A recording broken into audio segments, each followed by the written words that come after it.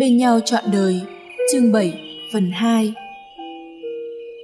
Mỹ Đình thấy dĩ thâm từ vòng họp đi ra, vội đưa tập tài liệu trong tay cho anh. Luật sư Hà, tài liệu anh cần em đã đánh máy xong. Còn đây là giấy mời dự lễ kỷ niệm 100 năm thành lập trường đại học C, giấy mời ở chỗ luật sư Hướng và luật sư Viêm. Nhân tiện em cầm về cho anh. Cảm ơn. Dĩ thâm quay đầu đó lấy tờ giấy mời, sửa ra xem bên trên có in biểu tượng trường đại học C, trong đó viết ngày 15 tháng 11 là ngày kỷ niệm 100 năm trường đại học C, nhà trường mời sinh viên các thế hệ về tham dự. Mỹ Đình ngẩng đầu nhìn đồng hồ treo tường, 5 giờ 40 phút. Luật sư Hà, nếu không có việc gì, em về đây. Không có việc gì đâu, cô có thể về. Vậy em về trước. Mỹ Đình thu xếp đồ của mình, chợt nhớ ra điều gì, nói. Luật sư Hà, điện thoại di động của anh đã đổ chuông mấy lần.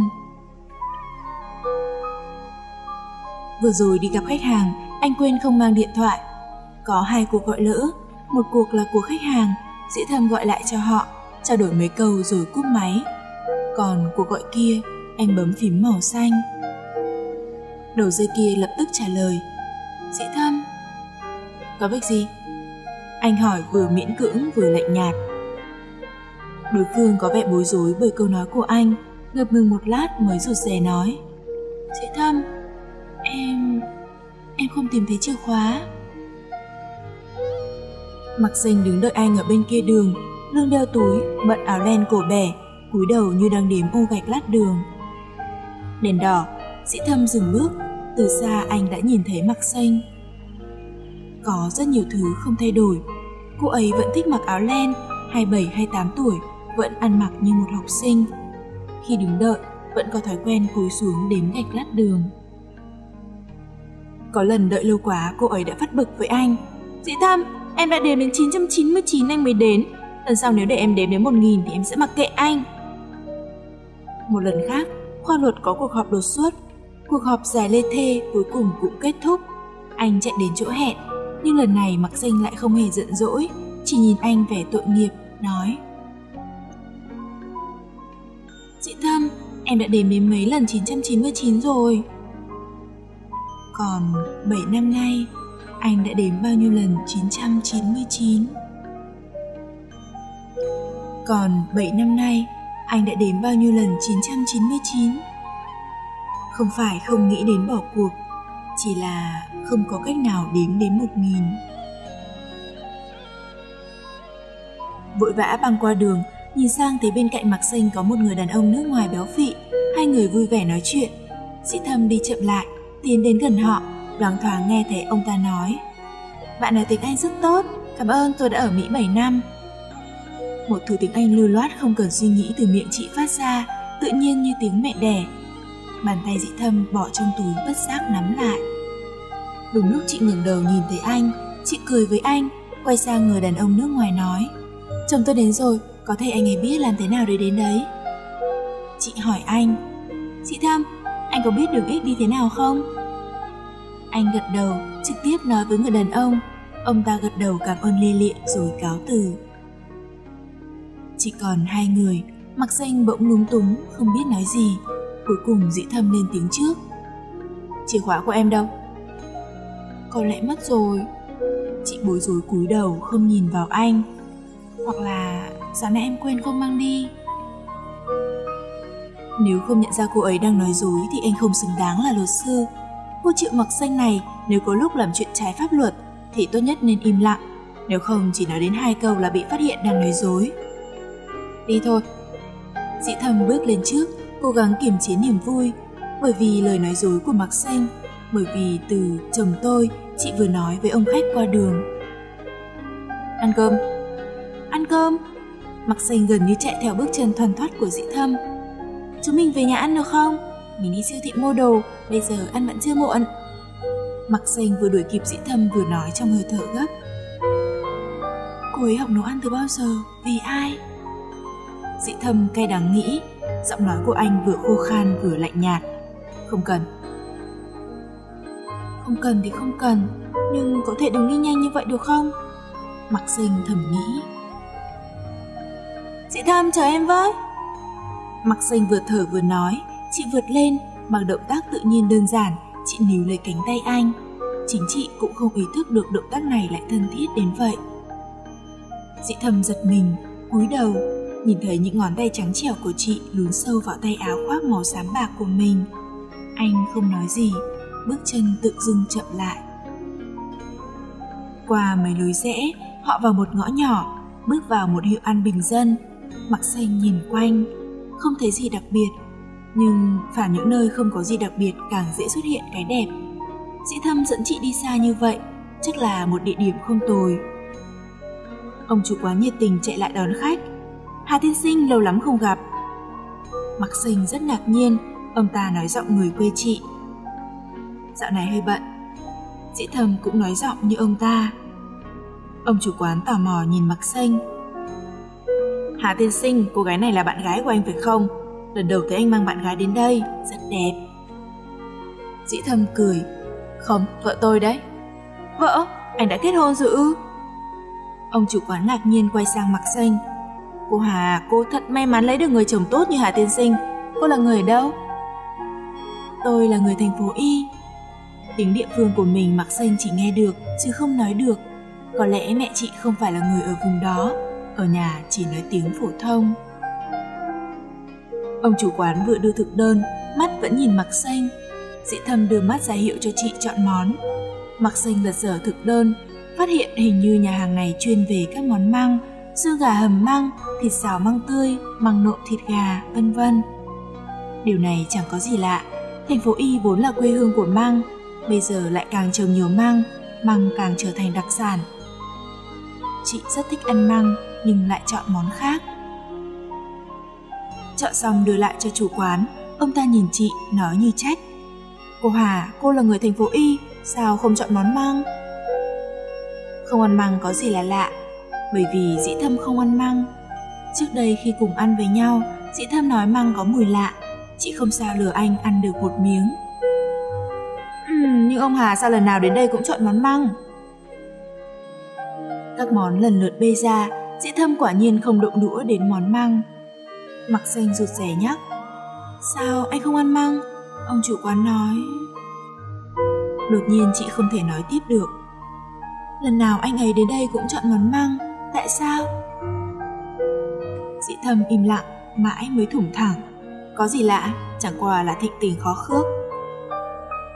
Mặc xanh vừa bỏ miếng măng vào miệng, không tìm thấy vị ngọt xưa, nuốt vào. Đúng như dĩ thâm nói, có vị là lạ. Nhìn thấy ông chủ quán đang tiễn mấy người khách, họ đều khen món ăn rất ngon và họ đều nói giọng địa phương, giọng người thành phố Y. Đúng thế, thịnh tình khó khước. Anh không về nhà sao? Từ quán ăn đi ra, tay nắm chặt chìa khóa của dĩ thâm vừa đưa, mặc xanh do dự hỏi. Tôi lại văn phòng có một số việc phải làm. Dĩ thâm lạnh nhạt nói. Chìa khóa vẫn nắm chặt trong tay, chị hỏi. Thì bao giờ anh về? Dĩ thầm nhìn chị, mắt lóe lên trong một cái nhìn kỳ dị. Em muốn chờ tôi. Mặc xanh gật đầu, ngập ngừng giải thích. Bởi vì... Bởi vì em cầm chìa khóa của anh. Văn phòng cũng có chỗ ở, em không phải đợi tôi đâu. Dĩ thâm không nhìn chị nữa. Anh lại nói giọng càng lạnh nhạt còn pha chút giễu cợt. Tôi không quen để người khác đợi.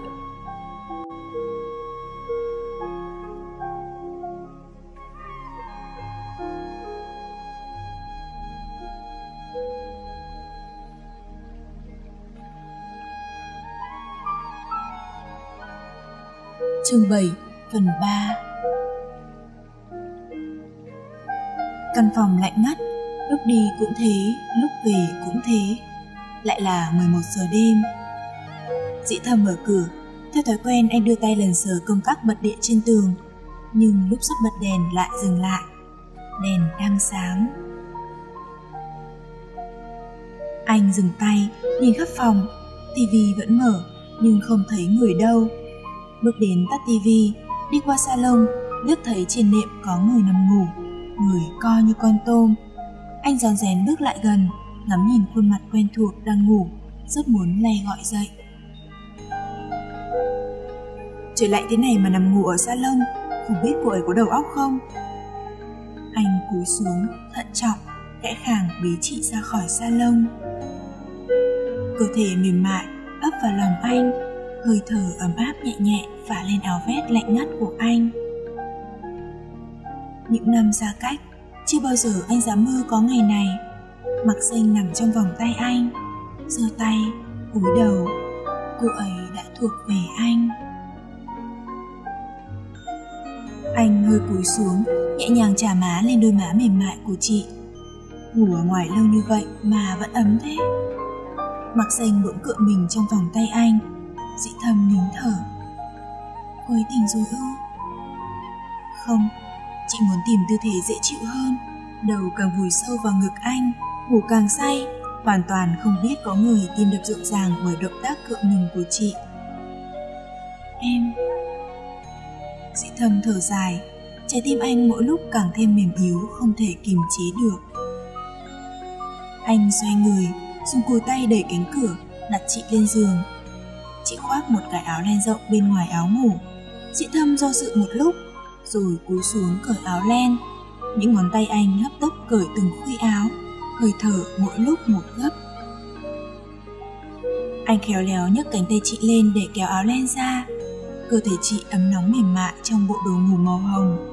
Tim anh đập mạnh, hơi thở dồn dập. Anh đã không thể nào kiềm chế được bản thân. Để tấm chăn đắp cho chị, anh vội vàng rời phòng ngủ. Nán lại lâu hơn, anh không dám chắc mình không tìm cách đánh thức người đang ngủ. Vào nhà tắm, rồi vào phòng khách. Lúc đi qua phòng ngủ, anh đột nhiên dừng bước, chợt nhớ ra điều gì, đẩy cửa nhìn vào phòng ngủ. Quả nhiên, chăn chỉ còn một nửa trên người, còn nửa kia sắp rơi xuống đất, một chân vắt ra ngoài chăn, trong tư thế rất thoải mái. Trong có mười mấy phút đã đạp tung chân ra thế này, thảo nào ngày xưa có lần cô ấy phàn nàn, em ngủ rất xấu. Anh biết Mặc Sinh có tư thế ngủ rất xấu là do mùa đông duy nhất năm đó họ cùng nhau. Mặc Sinh liên tiếp bị cảm, trong có hai tháng mà bị cảm tới 5 lần. Hỏi nguyên nhân, lúc đầu dứt khoát không chịu nói, sau mới ấp úng thú nhận. Lúc ngủ em rất xấu tính, thường hay đạp tung chăn. Ở nhà bố em thường về muộn, bao giờ cũng đến phòng ngủ đắp chăn lại cho em. Ở đây không có ai giúp, đến nửa đêm lạnh quá mới tỉnh dậy đắp lại chăn cho nên bị cảm cũng không nên trách em. Về sau cô ấy luôn coi chuyện bị cảm là chuyện bình thường, chẳng có gì nghiêm trọng. Bây giờ xem ra tư thế ngủ này đâu phải chỉ hơi xấu.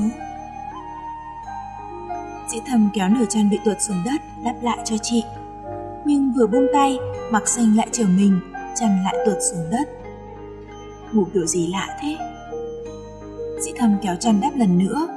Lần này mà làm tuột chăn thì cứ để cho cảm lạnh luôn.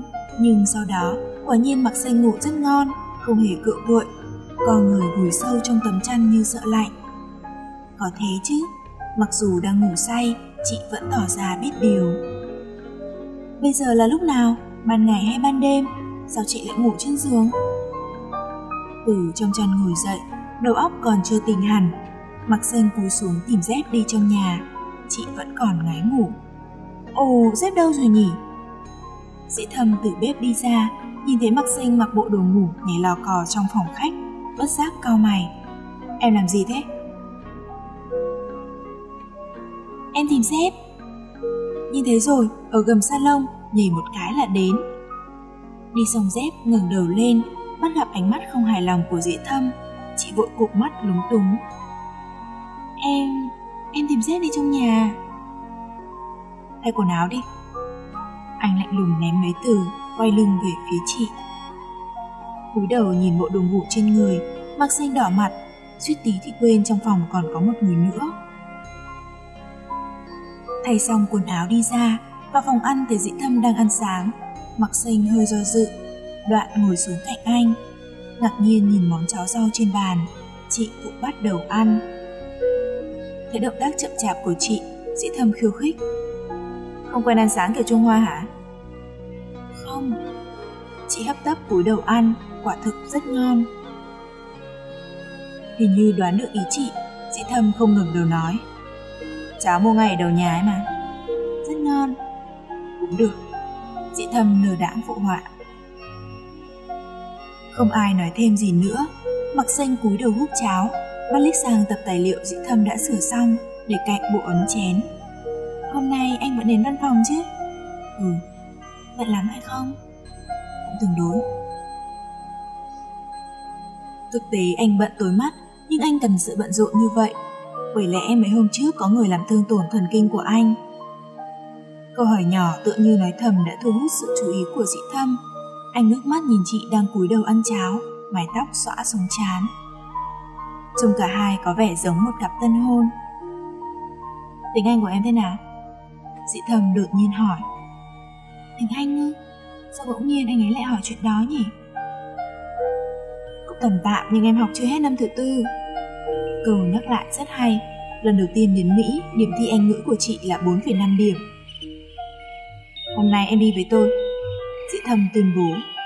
Sao? Mặc dây ngạc nhiên nhìn anh. Đi đâu? Đến văn phòng giúp tôi dịch tài liệu. Không dịch được ư? Mặc dành tức giận nhìn tập tài liệu trên bàn. Vô lý quá. Mấy năm ở nước ngoài chẳng lẽ uổng công? Họ dĩ thâm ư? ngẩng đầu nhìn sang hình như anh đang rất bận, chị không dám quấy giày. Tiếng chuông điện thoại phá vỡ bầu không khí yên tĩnh trong phòng. Di thâm một tay cầm tập tài liệu, tay kia nhấc điện thoại. Alo, tôi đang ở văn phòng. Thôi, hôm nay tôi có việc. Đầu dây bên kia nói gì đó, dĩ thâm bật cười. Anh Chu, anh cũng quay ra làm bà mối từ bao giờ thế? Tiếng Chu từ đầu dây bên kia. Không phải, là do lần trước bà xã mình đến bệnh viện trông thấy cậu, bà ấy rất ưng, nhất định muốn giới thiệu cho cô cháu mình. Nói thật nhá, không phải tôi nói hay cho người nhà mình đâu. Nhưng mà ấy, cô cháu tôi không phải hạng soàng, học thức, ngoại hình, phẩm chất chẳng kém gì cậu. Chị Thâm, cậu nên suy nghĩ nghiêm túc nhé. Chị Thâm cười. Anh trư chẳng lẽ anh muốn tôi ngoại tình sao? Ngoại tình? Chu nghiêm mặt. Cậu nói là cậu đã cưới vợ. Nhưng lại lập tức bác bỏ. Đừng đùa dĩ thâm. Bất kỳ ai cưới vợ đều có thể, nhưng Hà dĩ thâm thì tuyệt đối không. Lại thế nữa. Các máy dĩ thâm nhìn sang mặt xanh đang cắm cúi làm việc. Lại cắn bút, vẫn thói quen cũ. Trước đây không giải được toán vi tích phân, cắn bút một hồi rồi lại đưa bài cho anh, cười nịnh. Dĩ thâm...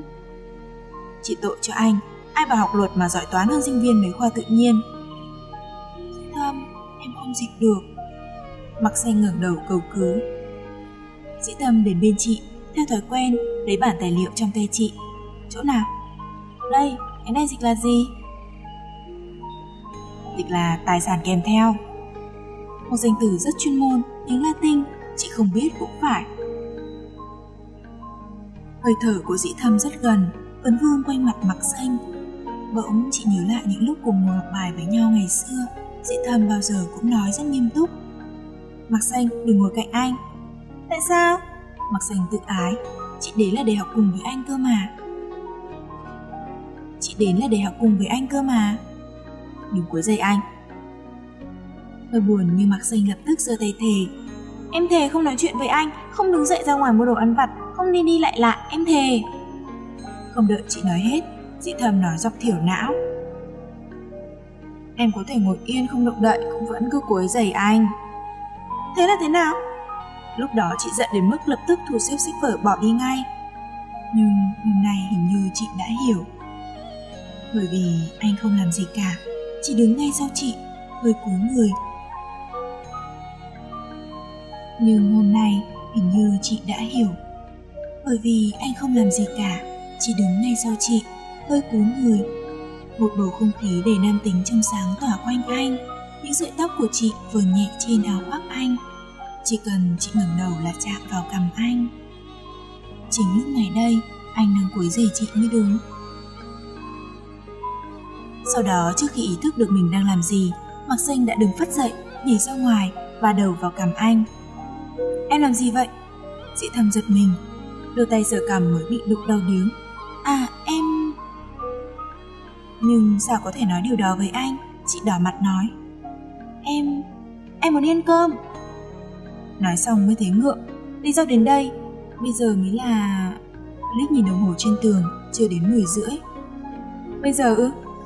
Dĩ thầm quả nhiên cau mày Đúng thế, sáng nay em ăn ít quá Chị bướng bỉnh đáp Lích nhìn đống tài liệu chất như núi trên bàn Nhưng thấy mặt mặc xanh nhăn nhó vì đói Dĩ thâm đành phải đầu hàng. Biết ngay mà, đưa cô ta đến văn phòng là một sai lầm. Chương 8, phần 1 Nhà hàng McDonald ngày cuối tuần rất đông, không khí náo nhiệt. Mặc xanh không ngờ Dĩ Thâm lại đưa chị đến đây, chị kéo tay áo anh. Dĩ Thâm, anh không đến nhầm đấy chứ? Không. Trước đây anh chẳng bảo chỉ có con nít mới thích nơi này. Nhưng ngày trước em cũng thích cơ mà. Dĩ Thâm lúng túng như bị phát giác điểm yếu trước mặt người khác. Dạ vậy. Thế thì em phải đi kiếm chỗ. Mặc sinh nhẹ nhẹ chọn ngay công việc nhẹ nhàng. Ngồi bên bàn kê sát cửa sổ, cắn hai miếng bánh, uống coca, thỉnh thoảng trao đổi vài câu với dĩ thâm. Cuối cùng chị nói đến tài liệu đang dịch. Dĩ thâm nhíu mày. Em bắt đầu hứng thú với pháp luật từ bao giờ thế? À, hiểu pháp luật một chút cũng tốt chứ sao? Mặc xanh mỉm cười. Không cần đâu. Dĩ thâm khóe miệng hơi nhếch giống một nụ cười. Có lẽ em cứ nên tiếp tục là người mù tịt về pháp luật thì hơn. Chỉ cần không liên quan đến chuyện ly hôn, tôi có thể giúp em. Mặc xanh câu mày. Đây có thể coi là câu nói đùa không? Chị thầm nghĩ. Anh Hà sao anh cũng đến đây? Giọng nói ngạc nhiên của một người phụ nữ vang lên sau lưng họ. Mặc xanh quay đầu, một phụ nữ trẻ em dắt hai đứa bé sinh đôi đang đi về phía họ. Chú dĩ thâm! Hai cậu bé song sinh đồng thanh reo lên, một đứa nhanh mồm nói. Chú dĩ thâm, bạn gái chú đẹp quá! Chị Phương Kiểm, dĩ thâm đứng lên chào. Người phụ nữ này thoạt nhìn ở bên ngay là người thông minh sắc sảo. Phương Kiểm hiện làm việc bên viện kiểm sát. Vụ án dĩ thâm đang thụ lý, chị là người tố tụng. Phương Kiểm gõ nhẹ vào đầu thằng bé. Đừng có lém. Đoạn mỉm cười với dĩ thâm. Luật sư Hà vô duyên quá, sao lại mời người ta ăn cái món bên Tây? Sao lại mời người ta ăn cái món bên Tây bán trên hè phố thế này? Dĩ thâm cười. Nhưng có người lại thích từ có người có lẽ không phải nói về chị. Mặc xanh thầm nghĩ. Trước đây khi học đại học, quả thực chị rất thích. Nhưng ở nước ngoài lâu như vậy, nếu còn thích cái món đó thì có lẽ khẩu vị có vấn đề. Thế nào, đại luật sư rung động rồi hả? Vốn thông minh, lại làm việc trong ngành tư pháp, quen xét đoán tâm trạng đối phương qua ngôn ngữ. Dĩ thâm hiểu ngay ý nghĩa câu nói vừa rồi của phương kiểm chị thầm quan sát mặc xanh. Cô gái có dáng như sinh viên này chắc chắn phải rất đặc biệt đối với dĩ thâm. Đúng có, dĩ thâm lảng sang chuyện khác. Chị phương kiểm nghe nói chị sắp thăng quan, xin chúc mừng. Có gì đâu.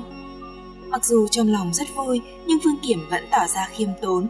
Sau một lúc ngập ngừng, chị ta nói, dĩ thâm, lần trước gặp cậu đã định hỏi, nhưng nói xong điện thoại lại quên mất. Nghe nói vụ án của ngụy đại quang cậu thụ lý phải không? Không chỉ là một người nhà của ông ta đến xin tư vấn. Ngụy Đại Quang vốn là phó thị trưởng thành phố. Do dính líu vào một vụ tham ô với số tiền lớn, báo chí đã nhiều lần đưa tin. Mặc danh là phóng viên, đương nhiên cũng biết chuyện. Nhưng những chuyện như vậy thường gợi cho chị nhớ đến quá khứ nên chị không muốn quan tâm. Phương Kim cười có vẻ yên tâm. Nếu cậu thụ lý vụ này thì tôi hơi lo. Có điều tôi đã nói với một số anh em trong cơ quan, những vụ án tham ô như vậy dĩ thầm không nhận đâu. Phương Kiểm đổi giọng vui vẻ. Tôi đã nói rồi mà, nếu luật sư nào cũng như cậu, bọn tham ô khó mà thoát tội. Chị Phương Kiểm quá lời rồi, tội phạm cũng có quyền được bảo vệ. Tôi không nhận vụ này là lý do cá nhân. Lý do cá nhân nữa? Bàn tay mặc xanh đang quấy cà phê chậm dần, chị thẳng thốt nhìn dĩ thâm. Phương Kiểm nói, Dĩ thâm, dù sao cậu cũng không nên nhận vụ này là tôi thấy nhẹ người rồi. Thôi tôi đi nhá, các con chào chú đi. Tạm biệt chú, tạm biệt cô. Hai đứa trẻ đồng thanh. Cổ chú cái gì gọi vớ vẩn. Phương Kiểm gõ vào đầu một đứa, đoạn nắm tay kéo chúng đi. Họ vừa đi khỏi, không khí vui vẻ hiếm hoi vừa có giữa hai người lập tức lắng lại. Suy nghĩ của Mạc Xanh vẫn xoay quanh câu nói lý do cá nhân của dĩ thâm. Chị không thể không nghĩ đến hoàn cảnh gia đình mình. Dĩ thâm Mạc Xanh cúi đầu, dùng ống hút hút những bọt sữa nổi trên ly coca. Chuyện của ba em anh vẫn để tâm sao? Dĩ thầm không trả lời Mặc xanh nói như hụt hơi. Thực ra ba em là người rất tốt Còn chuyện đó Chuyện đó không liên quan đến tôi. Cố gắng lắm chị mới thốt ra được câu đó Không ngờ lại bị anh ngắt lời một cách thô bạo. Cái ống hút trong tay mặc xanh thục mạnh vào đáy ly, coca đổ ra mặt bàn, Bí giọt rơi xuống gáo len trắng như tuyết của chị. Sau một giây bối rối, mặc Sinh nhanh chóng lấy giấy ăn lau chỗ coca vừa đổ trên bàn, động tác thận trọng, ngón tay hơi run. Mình vừa nói gì? Dĩ thầm tự hỏi. Lần thứ hai, lần thứ hai không kiềm chế được bản thân. Mình nghĩ lại nào. Dĩ thầm nghiêng người, lấy tờ giấy ăn trong tay mặc xanh. Để tôi. Mặc xanh cũng trấn tĩnh trở lại, giấy lau trong tay đã đổi chủ. Dĩ thầm cúi đầu, chăm chú nhìn vết ố trên áo len của chị. Những ngón tay mảnh rẻ rắn chắc lướt thoăn thoắt trên mặt bàn. Qua đường môi giữa mái tóc dày đen nhánh, chị có thể thấy hàng lông mày. Chị có thể thấy hàng lông mày kiên nghị của anh. Dị thầm rất gần, rất gần. Nhưng xa cách đến vậy, rốt cuộc là sao? Buổi chiều em không đến văn phòng nữa Mặc xanh nói nhỏ Dĩ thầm dừng tay ước nhìn chị, Ánh mắt đăm chiêu, Không biết anh nghĩ gì. Em đi phố, Em mua ít đồ. Giọng chị lý nhí. Đằng nào em cũng chẳng giúp gì được anh. Thực ra chẳng có gì cần mua. Lang thang không mục đích trên đường phố đông đúc, Mặc xanh rất buồn. Có lẽ chị đã chọn nhầm đường đi, Trong một khung cảnh náo nhiệt như vậy, Có lẽ chỉ càng làm người ta thêm buồn. Tháng ngày qua đi như một giấc mơ. Hai con người vốn đi hai con đường, đột nhiên gắn với nhau bởi một quan hệ hôn nhân. Không hề chuẩn bị, đốt cháy giai đoạn, không thoát khỏi sự khó khăn xa lạ do xa cách lâu ngày. Cuộc hôn nhân trước đây của chị Hình như vấn đề ở chính bản thân chị Mặc danh cười đau khổ Đi dạo mấy cửa hàng Thử hai chiếc áo len Nhìn người trong gương cảm thấy xa lạ như một người khác có lẽ là do tâm trạng, sức nhớ ra cần phải sửa lại tóc. Trong thành phố, nơi dễ tìm ra nhất là cửa hiệu làm đầu. Ra khỏi cửa hàng thời trang ngừng đầu, một tấm biển màu đỏ đập vào mắt, cắt tóc nghệ thuật. Cắt tóc nghệ thuật, một cái tên rất quen, lúc tìm trong trí nhớ. Cuối cùng Mặc Xanh đã tìm ra, đó là cửa hiệu mà nhiều lần Tiểu Hồng đã giới thiệu với chị. Thẩm mỹ của Tiểu Hồng xưa này quả là đáng hâm phục có điều người chờ quá đông, chắc không đến nỗi ai cũng cầu kỳ như Tiểu Hồng. Đẩy cửa vào, ngồi chờ một tiếng đồng hồ mới đến lượt. Cô định cắt thế nào? Thợ cắt tóc, một chàng trai có lẽ chưa đến 30, đưa mặt phía dưới bị khẩu trang che lấp, để lộ cặp mắt đen tinh nghịch như trẻ nhỏ, nhưng có giọng nói trầm ấm rất dễ nghe. Ngắn hơn một chút là được. Như thế này nhá. Dạ được, tốt quá. Anh ta cười hô hố, tôi thích nhất là tự do sáng tạo Câu nói vang lên từ phía sau, nhỏ nhẹ. Mặc danh cũng không để ý, lại một tiếng đồng hồ nữa. Mặc danh trố mắt nhìn người trong gương, sao lại thế này?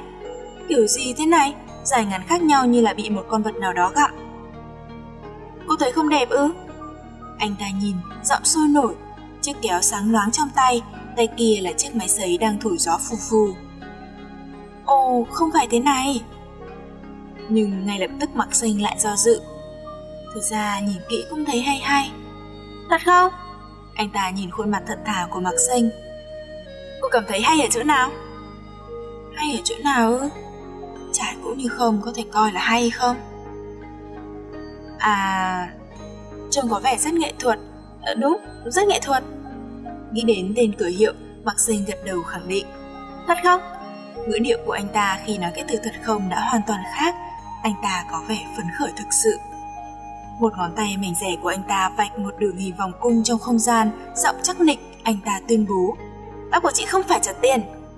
Không phải trả tiền? Tưởng mình nghe nhầm, mặc sinh thận trọng xác định. Anh vừa nói không phải trả tiền đúng không? Đúng vậy, miễn phí. Anh ta nói giọng kiên quyết. Vì sao?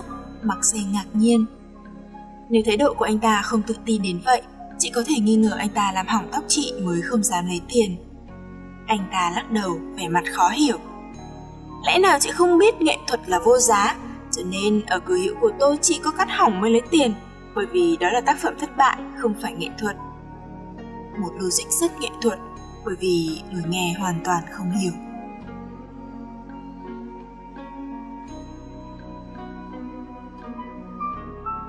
Chương 8 phần 2 ra khỏi cửa hiệu sau khi đã được anh thợ cắt tóc kỳ quặc tẩy não một cách thành công, Mặc xanh bước trên hè phố đầy tự tin. Dọc đường thỉnh thoảng không khỏi không nhìn vào những tủ kính trong các cửa hiệu, nhưng chỉ thấy một khuôn mặt buồn rầu, xa lạ với mái tóc rối tung, cặp mắt ngơ ngác nhìn mình. Nhìn người trong tủ kính, càng nghĩ càng thấy buồn cười, không nhịn được mặc danh bật cười thành tiếng. Người qua đường ngạc nhiên nhìn chị, khó mà tưởng tượng có người lại vui vẻ như thế với cái đầu như vậy. thưa cô, cô có muốn vào cửa hiệu xem không?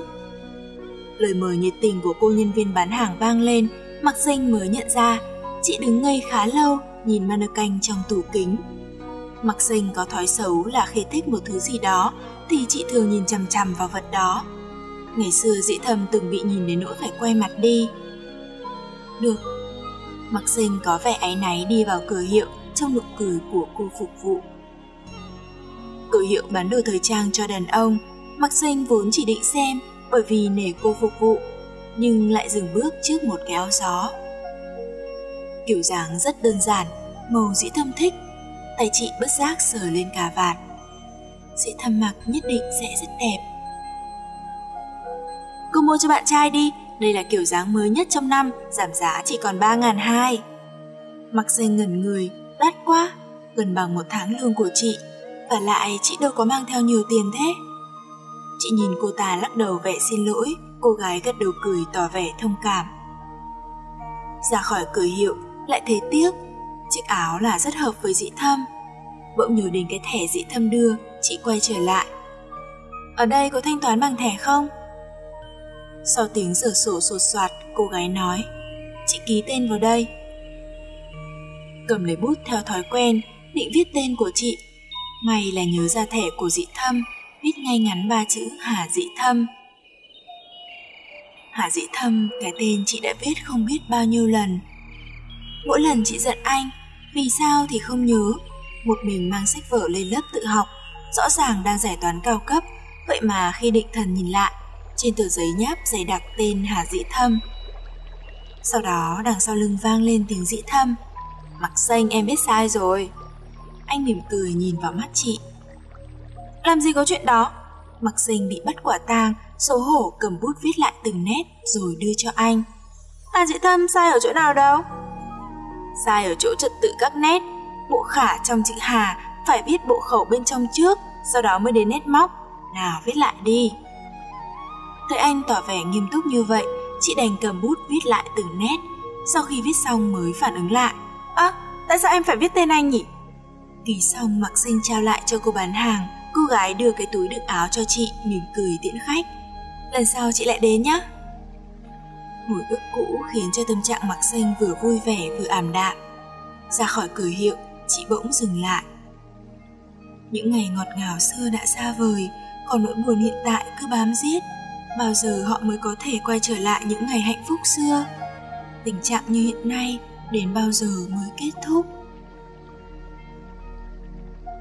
Nó là dĩ thâm không về sớm, mặc danh giải quyết bữa tối ngoài đường, hơn 8 giờ mới về nhà. Mở cửa, trong phòng tối om. Đang mò mẫm tìm công tắc điện, thì một giọng đàn ông trầm ấm vang lên. Về rồi sao? Dĩ thâm. Vì chưa chuẩn bị về tâm lý nên mặc danh giật mình.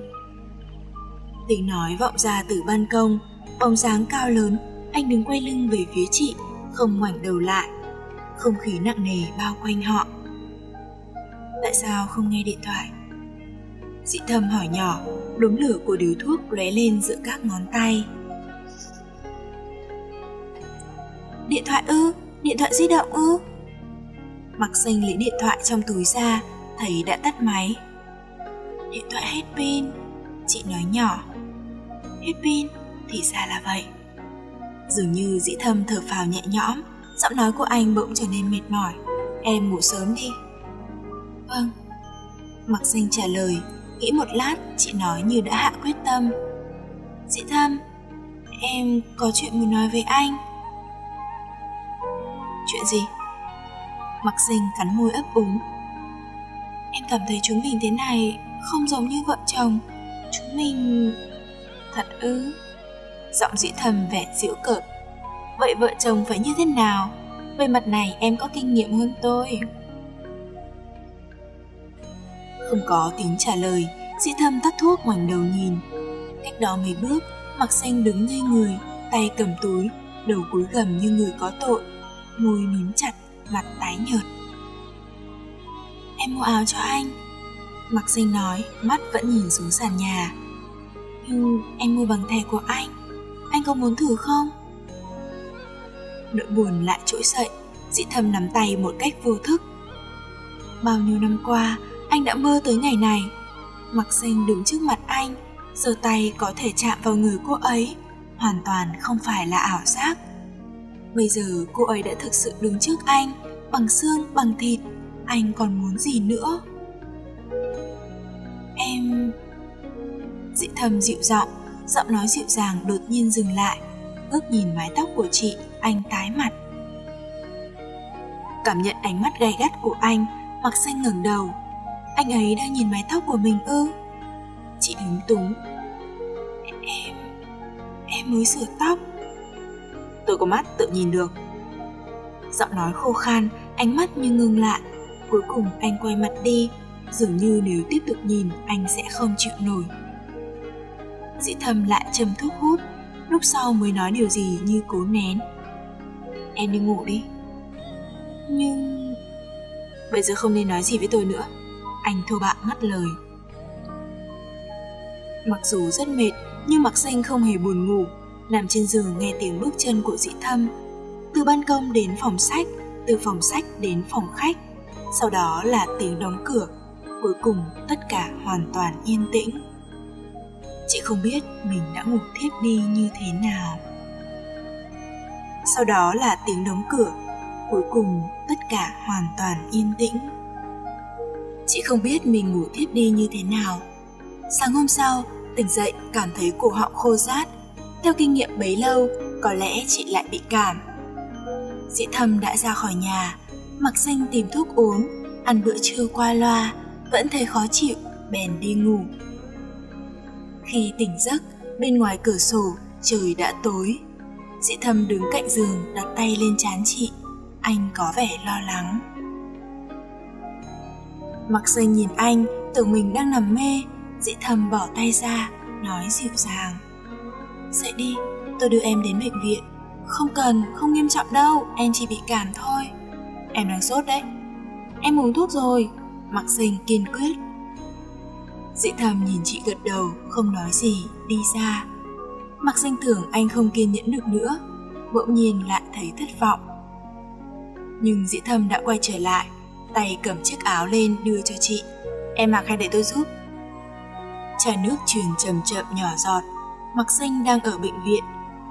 Nghĩ lại vừa rồi anh gần như cưỡng bức để anh mặc áo len cho chị, mặc danh xấu hổ, đỏ mặt lết trộm người đang đọc tài liệu trước mặt. Tự dưng thấy bực với chính mình, bỗng dưng lại lăn ra ốm. Cảm thấy có ánh mắt nhìn, dĩ thâm ngẩng đầu, mặc xanh vội vàng cụp mắt nhìn sang chỗ khác. Anh làm ra vẻ không nhìn thấy, như chợt nhớ ra điều gì. Anh đứng dậy đi ra ngoài, lát sau trở lại với cuốn tạp chí trong tay, đặt lên giường cạnh chị. Mặc xanh cũng giả bộ không nhìn thấy. Không sao, cứ để mặc cô ấy, vợ mình muốn nghiên cứu thử đầu tư chứng khoán cũng tốt. Mặc xanh thuận tay vớ lấy tờ báo.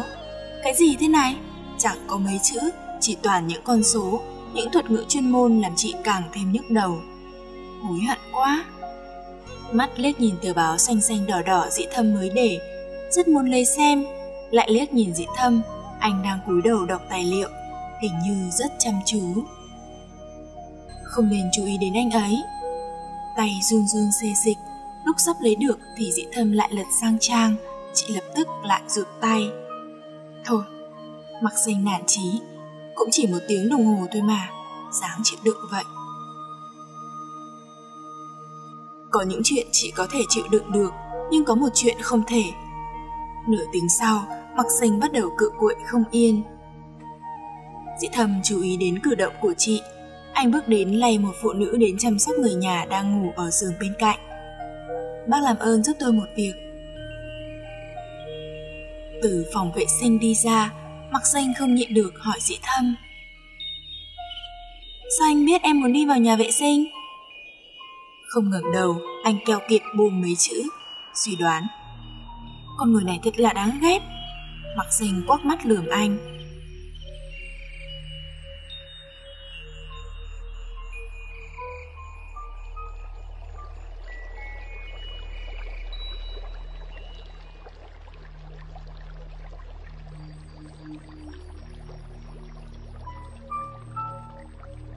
Chương 8 phần 3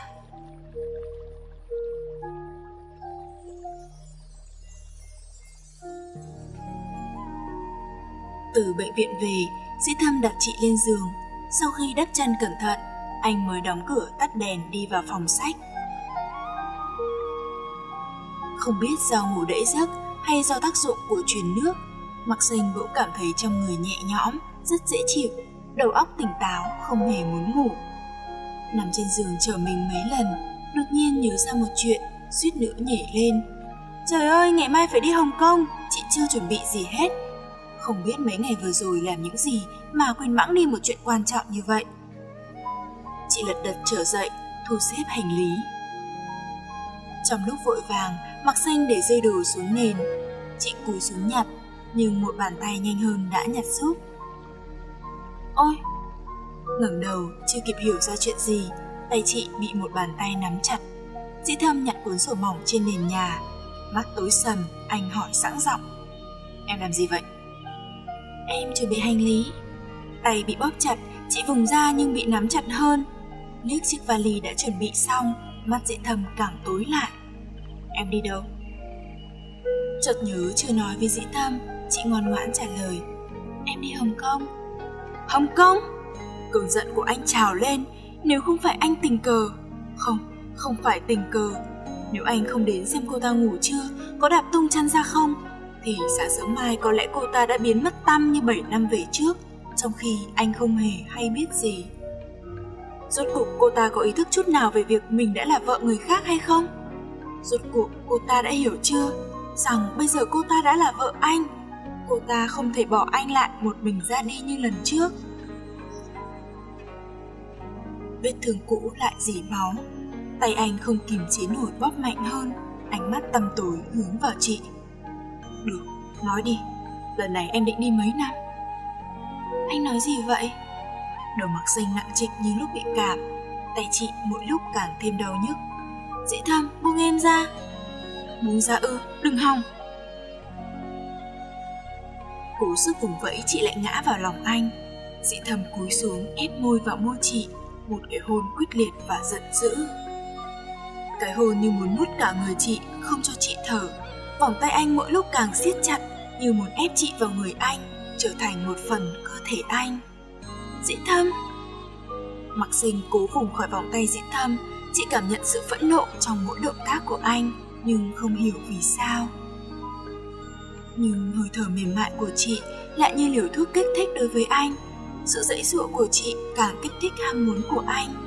Anh bế chị lên giường, đè lên người chị, mắt nhìn soi vào con người nằm dưới anh. Đó là vật sở hữu duy nhất mà anh có. Mặc sinh, đây là nghĩa vụ vợ chồng. Anh điên cuồng mút ra thịt mềm mại của chị để lại dấu ấn mạnh mẽ lên người chị. Động tác vừa trực tiếp, vừa cưỡng chế khiến chị run rẩy.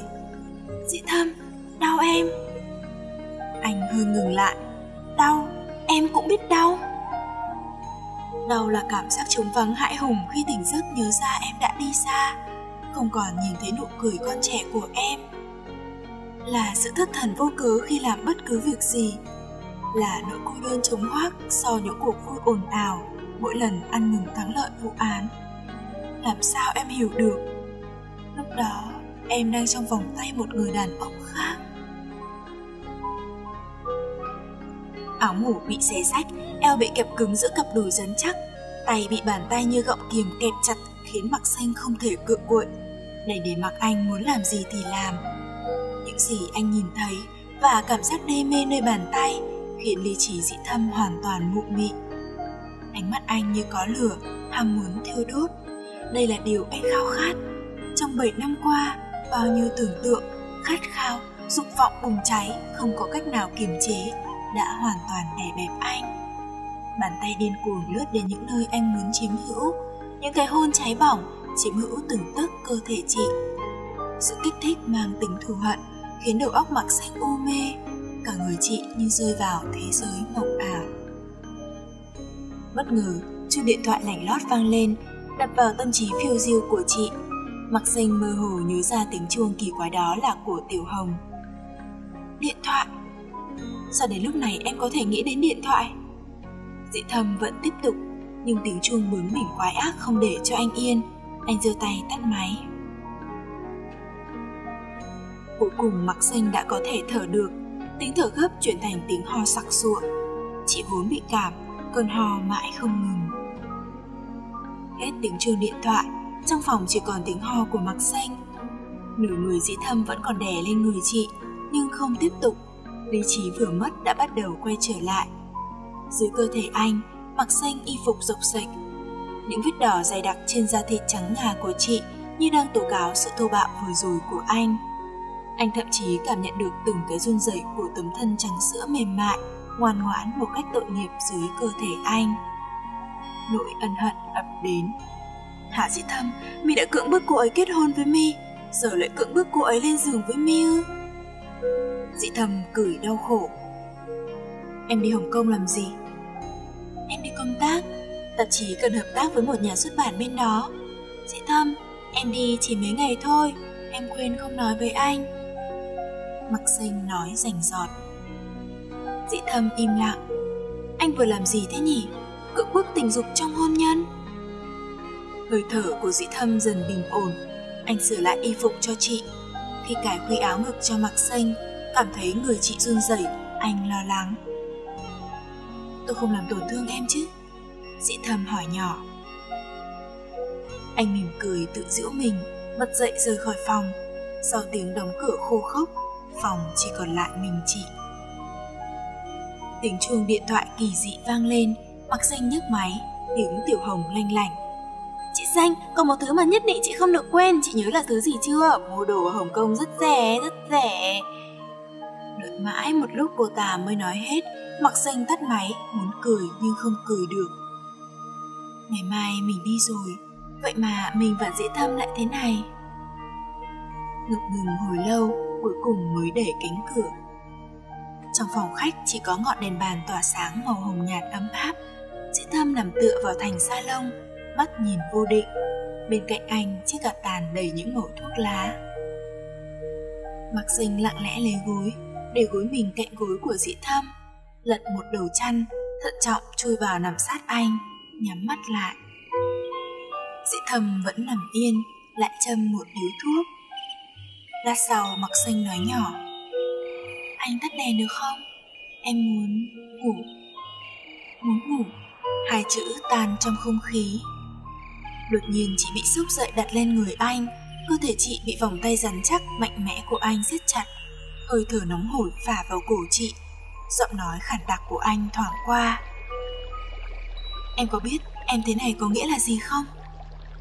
Sao lại không?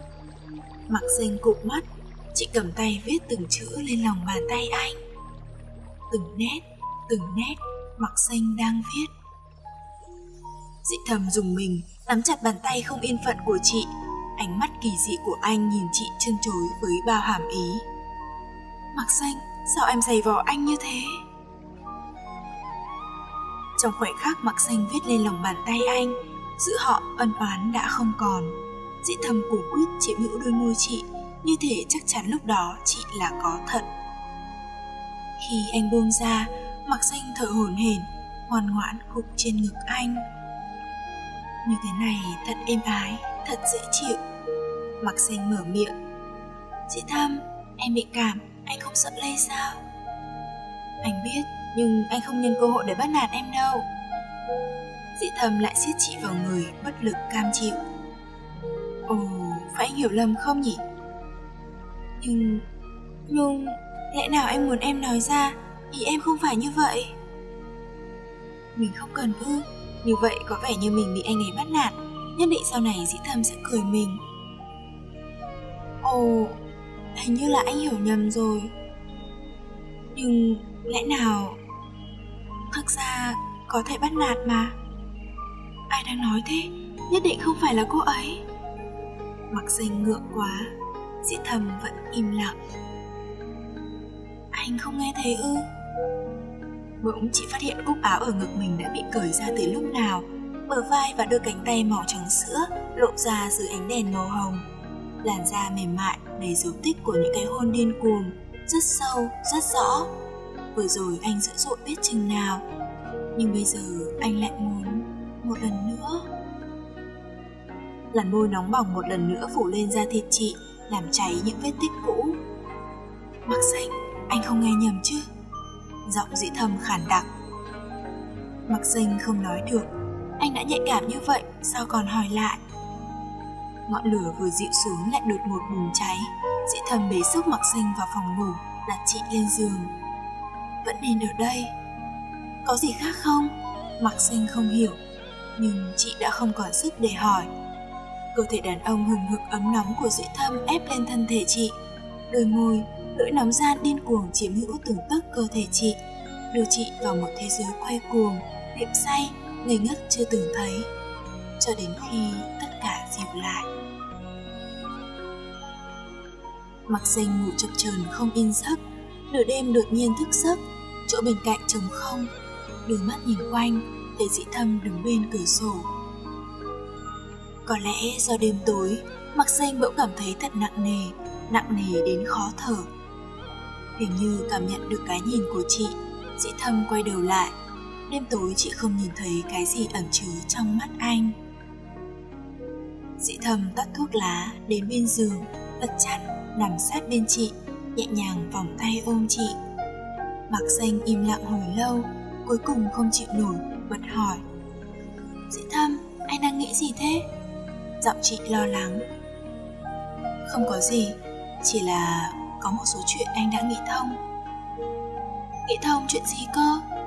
Mặc danh muốn hỏi, nhưng miệng chị đã bị môi anh gắn chặt. Mặc xanh hãy để tóc dài đi. Sao?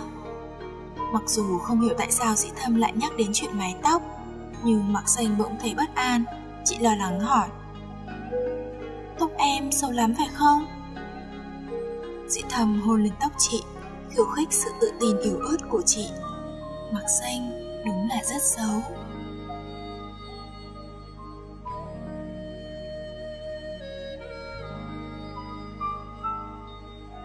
Chương 9, phần 1 Sáng hôm sau dậy muộn là lẽ đương nhiên. Vẫn là dễ tham đánh thức. Không biết anh đã dậy từ lúc nào Trông người rất chỉnh tề Tay cầm điện thoại di động của chị. Gọi em đấy. Ôi Mặc sinh khó nhọc mở mắt giơ tay đón điện thoại từ tay dị thâm. Vừa cầm máy đã nghe thấy tiếng chị Trần quát tháo loạn xạ. Mặc Sinh, cô có biết bây giờ là mấy giờ rồi không? Chúng tôi đang ở sân bay đợi một mình cô. Đến nhanh lên, đừng có lề mề như rùa ấy Làm cho bao nhiêu người đợi dài cổ ra đây này. Chị Trần nói liền một hồi, giọng gay gắt. Lúc này Mặc Xanh mới hoàn toàn tỉnh ngủ Nhìn đồng hồ trên điện thoại vội bật dậy như phải bỏng. Vội vàng mặc quần áo chạy đi lấy vali. Dĩ thâm cau mày, kéo tay ngăn chị. Em bình tĩnh nào cài nhầm khuy áo rồi. Trời đất, mặc xanh cúi đầu. Dĩ thầm cau mày, kéo tay ngăn chị. Em bình tĩnh đã nào cài nhầm khuy áo rồi. Trời đất, mặc xanh cúi đầu, nhìn những ngón tay thanh tú của dĩ thâm đang cài lại khuy áo cho chị. Sự ngượng ngùng bị cái vội vàng lấn át giờ bỗng trở lại mặc xanh xấu hổ đỏ mặt. Được rồi. Được rồi. Cảm nhận bầu không khí thân thiết ấm áp bao quanh hai người dĩ thâm gác lại suy tư riêng của mình, nhanh nhẹn cầm chìa khóa xe dục mặc xanh. Nhanh lên, lấy đồ đi, anh đưa em ra sân bay. Em không kịp mất. Đột nhiên mặc xanh im bặt, ngẩn người nhìn vật lạ trên ngón tay đeo nhẫn của chị từ lúc nào một chiếc nhẫn bạch kim giản dị, thiết kế đơn giản, không hề cầu kỳ hoa mỹ. Chỉ có những viên đá nhỏ xíu gắn thành hình tròn, bao quanh những nét chạm trổ tinh tế, hết sức trang nhã, tự nhiên. Anh mua từ bao giờ thế? Không nhớ, lâu lắm rồi, tối qua anh mới tìm lại. Mặc xanh giơ bàn tay lên, say mê ngắm nhìn cái nhẫn. Nó hài hòa một cách kỳ lạ với những ngón tay thanh tú trắng muốt của chị. Dưới ánh mặt trời mùa đông, đã phát ra những tia sáng rực rỡ long lanh. Trong mắt mặc xanh cũng lấp lánh niềm vui như trẻ nhỏ. Em chỉ còn không đến 10 phút thôi đấy.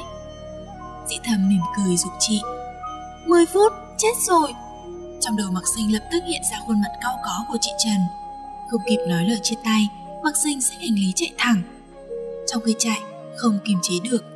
Thỉnh thoảng chị cúi đầu nhìn vào cái nhẫn lấp lánh trên tay, trong lòng trào dâng niềm hạnh phúc vô bờ. Hồng Kông Đoàn đại biểu của tạp chí Tú Sắc đi Hồng Kông lần này là để đàm phán chuyện hợp tác với một tạp chí của Hồng Kông. Vốn không liên quan đến Mặc Xanh, nhưng do Mặc Xanh tạm tiếng Anh nên họ đưa chị đi làm phiên dịch. Do đã chuẩn bị chu đáo, cuộc đàm phán diễn ra khá thuận lợi. Ba ngày sau, hai bên đã ký hợp đồng hợp tác. Xong việc, cả đoàn kéo nhau đi shopping. Trời ơi, sao đồ trang sức, đồ mỹ phẩm ở đây rẻ thế? Chết thật, cái dây chuyền đúng như thế này tôi mua ở nhà đắt hơn đến một ngàn. Chị Trần suýt xoa tiếc rẻ. Vốn chị định đi cùng mặc xanh không mua gì nhiều Vậy mà chị Trần mua bao nhiêu là thứ Hơn cả mặc xanh Họ đi ngắm nghía mua sắm suốt cả một buổi tối Ở cái đất Hồng Kông Vốn không hề có ban đêm này Kết quả ai nấy đều thấm mệt, Còn mệt hơn cả mấy ngày làm việc vừa rồi. Về đến khách sạn, Bước vào phòng, chị Trần đã nằm vật ra giường như người ốm nặng. Mặc Dành nhìn điện thoại trên bàn, Do dự không biết có nên gọi cho dĩ thăm hay không. Gọi nhanh lên, điện thoại công quỹ đấy. Mặc Dành giật mình, Quay người thấy chị Trần chờ mình, Mắt vẫn nhắm nghiền. Không biết có phải chị ấy nói mê không? Mặc Dành thầm nghĩ. Nhưng ống nghe, nên những con số đã quá quen thuộc. Từ đầu dây bên kia, Lập tức vọng đến giọng nói trầm ấm quen thuộc của dĩ thâm. Mặc xanh Mặc xanh ngẩn người. Sao anh biết là em? Anh đoán ra ư? Trên điện thoại có hiện số. À dạ vậy. Anh đi làm về chưa? Em đang gọi điện về nhà mà. Mặc xanh ngẩn người vì sự ngớ ngẩn của mình. Bên kia cũng im lặng giây lát Hình như dĩ Thâm thở dài. Mấy ngày nay em làm những gì? Mặc xanh bắt đầu kể tình hình công việc, Khi không biết nói gì, Dĩ thâm thường chuyển đề tài. Vậy là gọi hết cả giờ đồng hồ.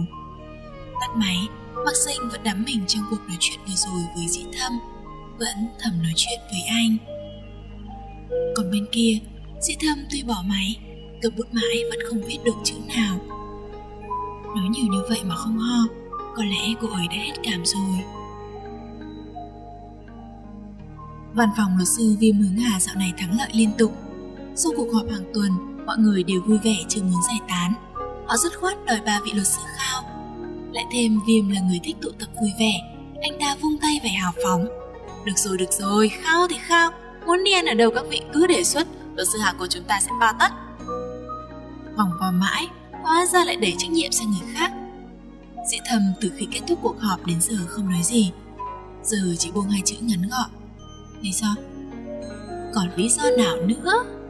Viêm tỏ vẻ bí mật. Lẽ nào cô không biết từ cổ chí kim, kẻ bị chém thường là công thần hay sao công càng to càng dễ bị chém có lý sĩ thầm thục giáo gật đầu chịu chém mọi người hoan hô ầm ĩ thảo luận sôi nổi địa điểm liên quan, mỗi người đề nghị một địa điểm. Ý kiến không thống nhất nhưng có một điểm rất thống nhất, đó là ai cũng chọn nhà hàng sang trọng. Ứng hằng vừa nghe vừa lắc đầu nói với Dĩ thâm. Cậu phải chuẩn bị tinh thần thật tốt đấy. Dĩ thâm cười, không thành vấn đề. Bàn mãi vẫn chưa quyết định chọn địa điểm nào, Trong tiếng ồn ào có tiếng một cô gái. Chúng ta tổ chức ở nhà luật sư Hà, Mọi người thấy thế nào? Cả phòng lập tức im lặng. Mắt hướng về phía người vừa nói. Thì ra đó là Tiểu Cao Sinh viên thực tập mới về. Bị mọi người nhìn Tiểu Cao vốn không có ý gì Bỗng trở nên lúng túng. Ờ, tôi... Tôi thấy đến nhà hàng không bằng đến nhà luật sư Hà ăn lẩu chúng ta tự chuẩn bị vừa rẻ vừa vui. Mọi người cùng đồng tình nhưng không tiện phụ họa. Trong ba vị luật sư của phòng ngoài viêm tính tình cởi mở vui vẻ còn hai vị kia rất khó gần nhất là luật sư hà Sau này công tư luôn luôn phân minh, ngoài quan hệ công việc luôn có khoảng cách với mọi người. Nhưng ai cũng muốn đến thăm nhà của luật sư Hà. Đúng đấy, đúng đấy. Viêm đột nhiên vỗ đùi đánh đét. Sao mình không nghĩ ra nhỉ? Nhà cậu rất rộng, nên nhà cậu là hay nhất. Chúng ta ăn uống cũng thoải mái. Thế nào, cậu cho một câu đi. Nghe luật sư Viêm nói vậy, mọi người đều chờ câu trả lời của dĩ thâm. Dĩ thầm thấy buồn cười trước những con mắt chờ đợi của mọi người. Thầm nghĩ ngày mai mặc xanh trở về, tối nay mình tìm việc gì đó để làm cũng tốt. Liền gật đầu. Nếu mọi người không cảm thấy như vậy là quá hời cho tôi, rất hoàn ngày mọi người đến nhà chơi. Xe chạy bon bon, Tiểu Cao ngồi ở ghế phụ, không nén nổi niềm vui. Vừa rồi phân công nhiệm vụ, một số người được cử mua nguyên liệu làm lẩu. Tiểu Cao được phân công cùng với dĩ thâm về nhà chuẩn bị. Chỉ có hai người. Hôm nay đúng là ngày may mắn của cô. đích trộm luật sư Hà, khuôn mặt cực kỳ tuấn tú, cương nghị của người đàn ông tài hoa, khiến cô thoáng đỏ mặt, tim đập rộn ràng. Mặc dù mới về văn phòng thực tập cùng với luật sư Hà hơn một tuần, Tiểu Cao đã nhận ra đây là một người đàn ông rất mực ưu tú, chính trực, không thể không bị hấp dẫn bởi một người như vậy. Luật sư Hà, anh thích một người như thế nào? Tiểu Cao thăm dò, cô có cái vẻ ngây thơ và bạo dạn rất học trò. Dĩ thầm cười, đúng là một câu hỏi của một nữ sinh. Có điều anh cũng thấy khó trả lời. Luật sư Hà không biết sao? Tiểu Cao thất vọng nói. Vậy là cô không có phương hướng phấn đấu rồi, phải tìm cách khác vậy. Luật sư Hà từng thích ai chưa? Tiểu Cao thầm nghĩ, một người lạnh lùng lý trí như luật sư Hà, khi yêu sẽ thế nào nhỉ? Liệu có dịu dàng không? Ồ, có thật là rất khó tưởng tượng.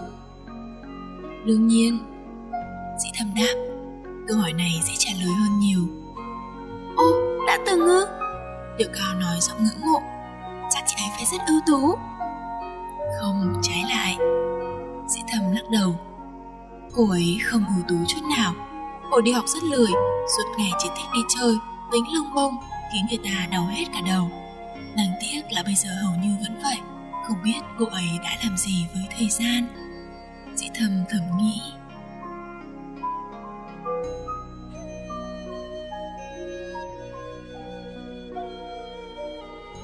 Chọn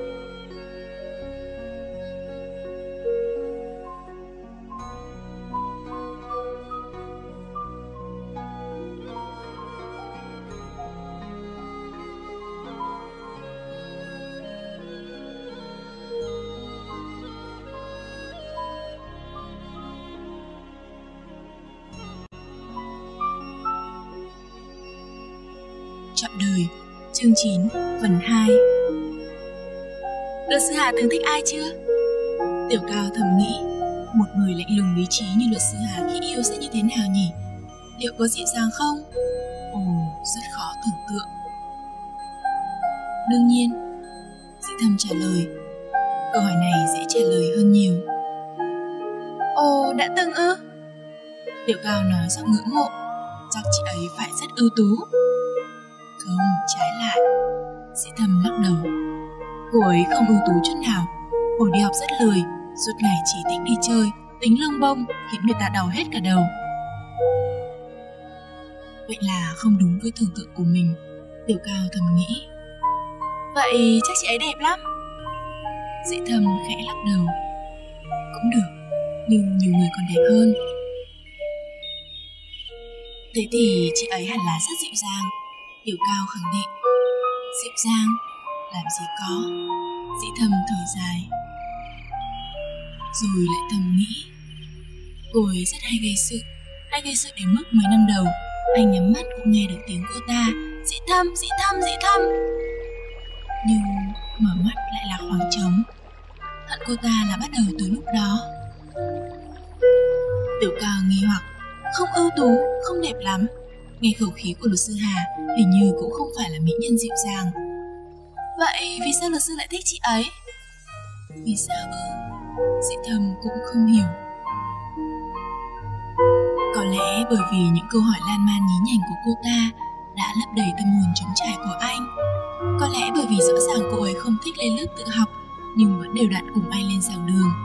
Kết quả chưa đến một giờ đồng hồ đã ngủ gà ngủ gật, nước miếng chảy ướt cả giáo trình của anh.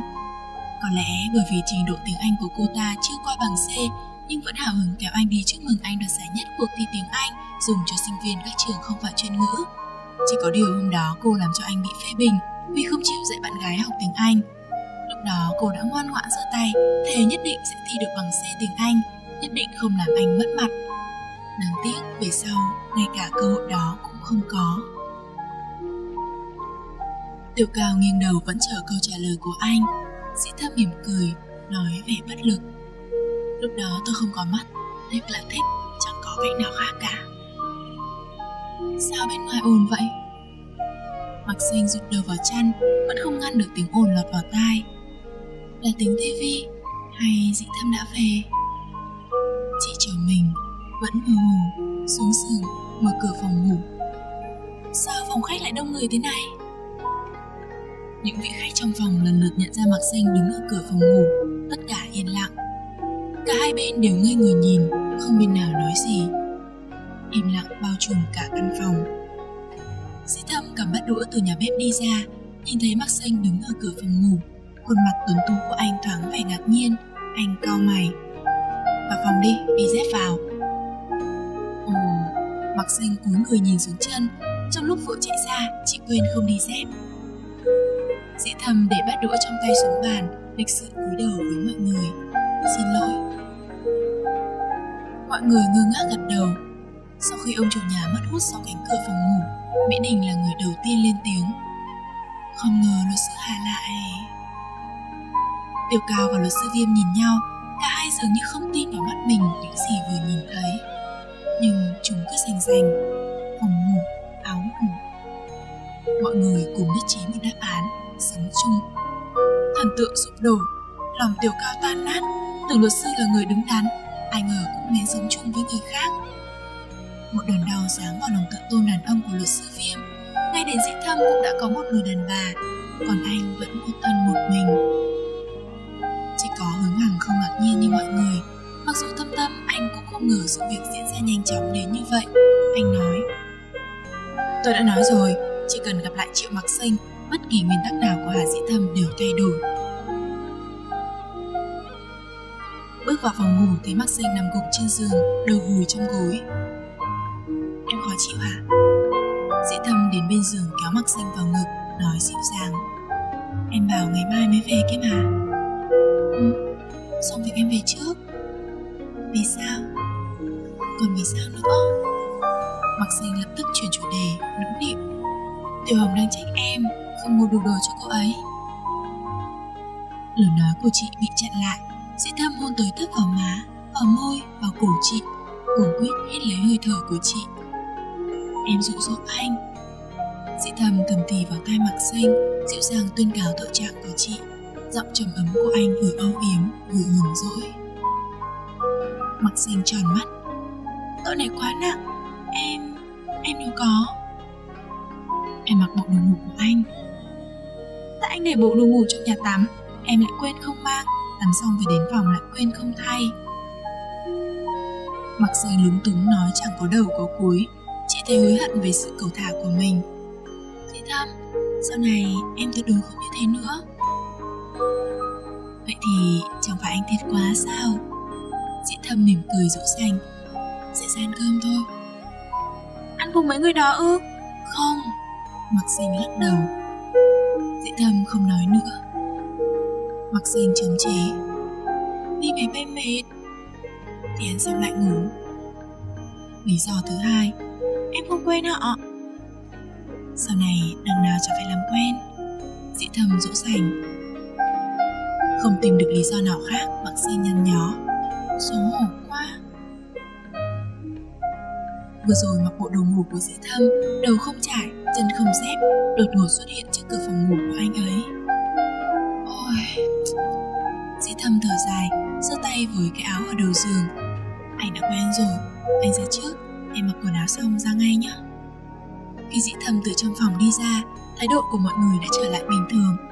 Thực ra họ đều là những luật sư Hoặc sắp trở thành luật sư Với họ chẳng có gì là quá bất ngờ.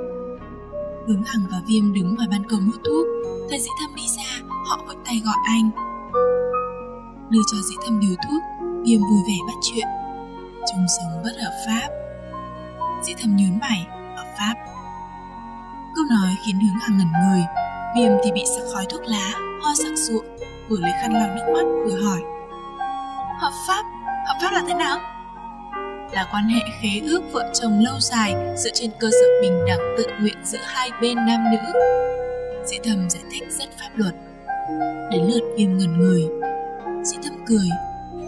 Nói một cách đơn giản là tôi đã kết hôn, các vị chuẩn bị đồ mừng đi. Cậu, cậu, cậu. Viêm hét to. Cậu, ý tôi là cậu đã cưới rồi sao?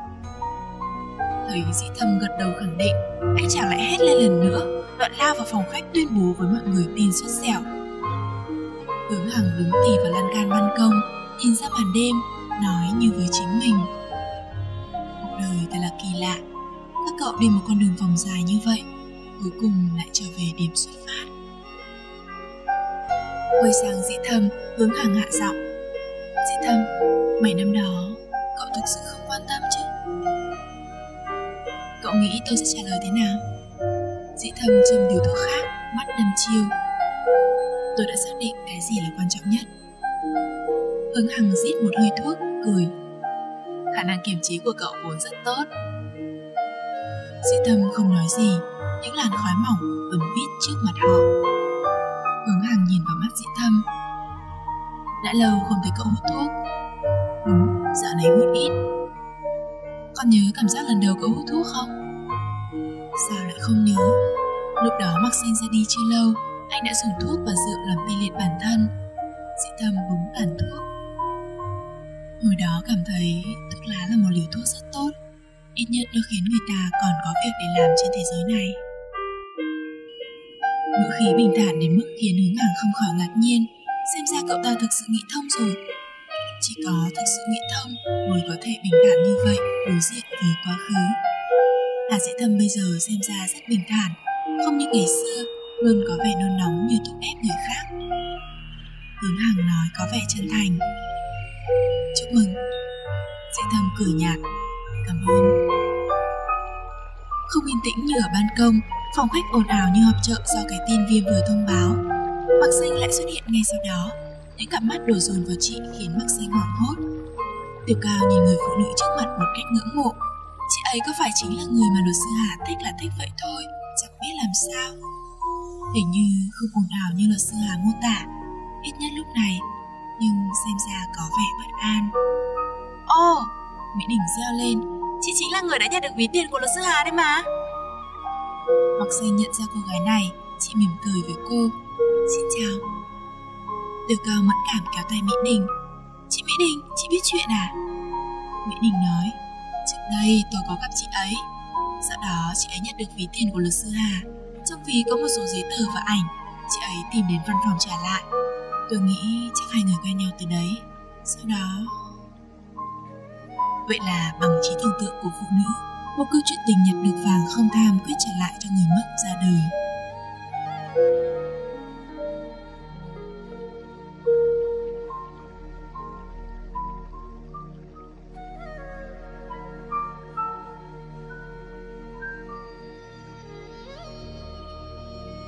9 phần 3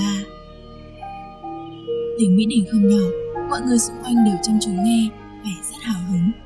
Mạc Sinh vừa nghe kể, mỗi lúc càng thêm ngạc nhiên. Cái cô Mỹ Đình này lẽ ra phải đến thời soạn của chị để viết chuyện tình yêu mới phải, để cô ấy ở đây e lãng phí nhân tài. Ôi, thế thì sau này, nếu nhận được ví tiền của phụ nữ nhất định phải đem trả lại. Nghe xong chuyện một chàng trai tổng kết.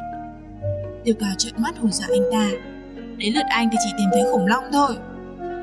Mọi người cười ồ Đúng lúc đó sĩ thâm và hướng hàng đi từ ban công vào Nhân lúc mọi người vui vẻ, Có ai đó nói to. Nếu luật sư Hà thành thật khai báo sẽ được khoan hồng Nếu ngoan cố quyết không tha. Cậu có thể im lặng, Nhưng mỗi câu nói của cậu đều có thể trở thành chứng cứ định tội. Ứng hàng mỉm cười vẻ đe dọa. Cái gì thế? Có phải họ xem quá nhiều phim hình sự Hồng Kông không? Mặc danh thầm nghĩ. Sĩ thâm cười được, tôi sẽ thành thật khai báo. Vừa ăn vừa khai hết được không?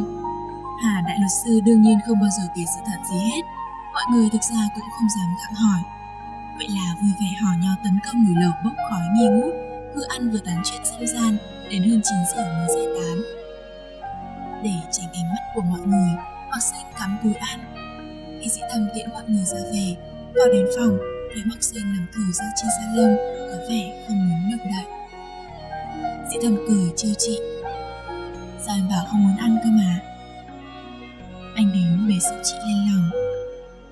Không nặng lên mấy, dĩ thầm thầm nghĩ. Không biết cô ấy ăn được bao nhiêu. Anh nói gì thế? Ngồi trong lòng, hoặc Xanh có vẻ mệt, phản ứng chậm chạp. Dĩ thầm trột dạ, thái độ cô ấy hơi lạ. Có phải lúc anh nói chuyện với hướng hằng, cô ấy đã nghe được điều gì? Không có gì. Dĩ thầm thầm thì, giọng anh khàn đi. Không có gì mới là lạ. Đêm hôm đó mắc Xanh mới thể nghiệm thế nào là từ biệt thắng tân hôn. Những ngày sau đó, Dĩ Thâm liên tục nhận được sự quan tâm từ nhiều phía.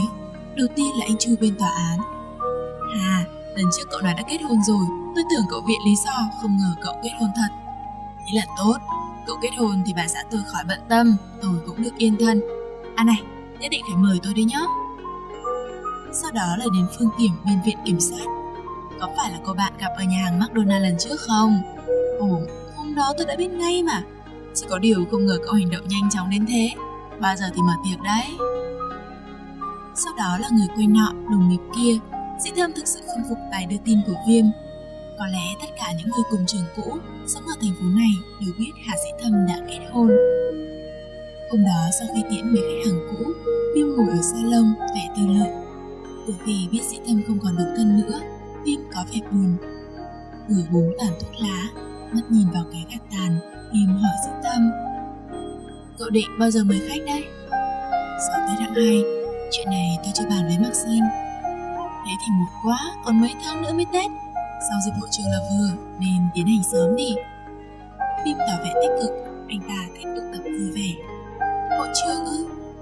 Dĩ thầm nhìn lịch làm việc, quả nhiên có ghi ngày 15 là ngày kỷ niệm 100 năm thành lập trường cũ. Dạo này quá bận nên anh quên mất.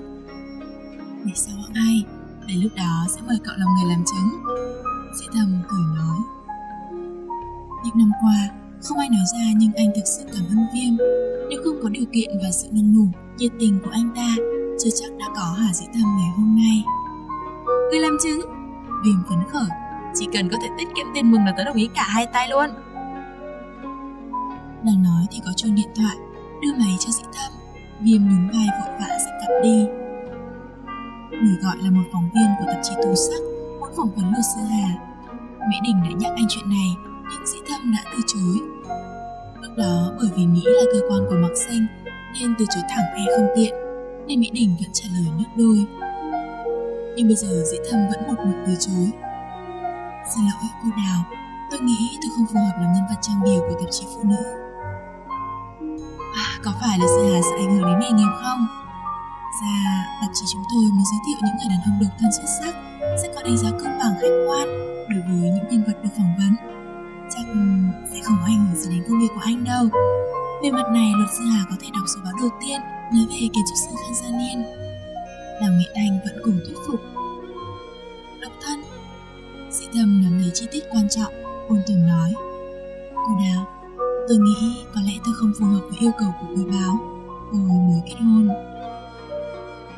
Người lúc đối phương còn đang bất ngờ bởi thông tin vừa nghe được Sĩ Tâm nói thêm mấy câu tỏ ý lấy làm tiếc Rồi bỏ máy Đang tranh thủ được tài liệu thì điện thoại có tín hiệu tin nhắn Đó là tin nhắn của ngoại Xanh Dĩ thâm, tối nay chúng mình ăn gì? Dĩ thâm rất ít khi nhắn tin Khi anh còn học đại học Thì điện thoại di động còn là thứ quá xa xỉ đối với học sinh nghèo như anh Vì vậy anh đã bỏ qua thời kỳ hoàng kim nhắn tin Đến khi ra làm việc có điện thoại lại quen gọi điện vừa nhanh chóng vừa rõ ràng. Trước đây thỉnh thoảng Dĩ Văn cũng có nhắn tin cho anh.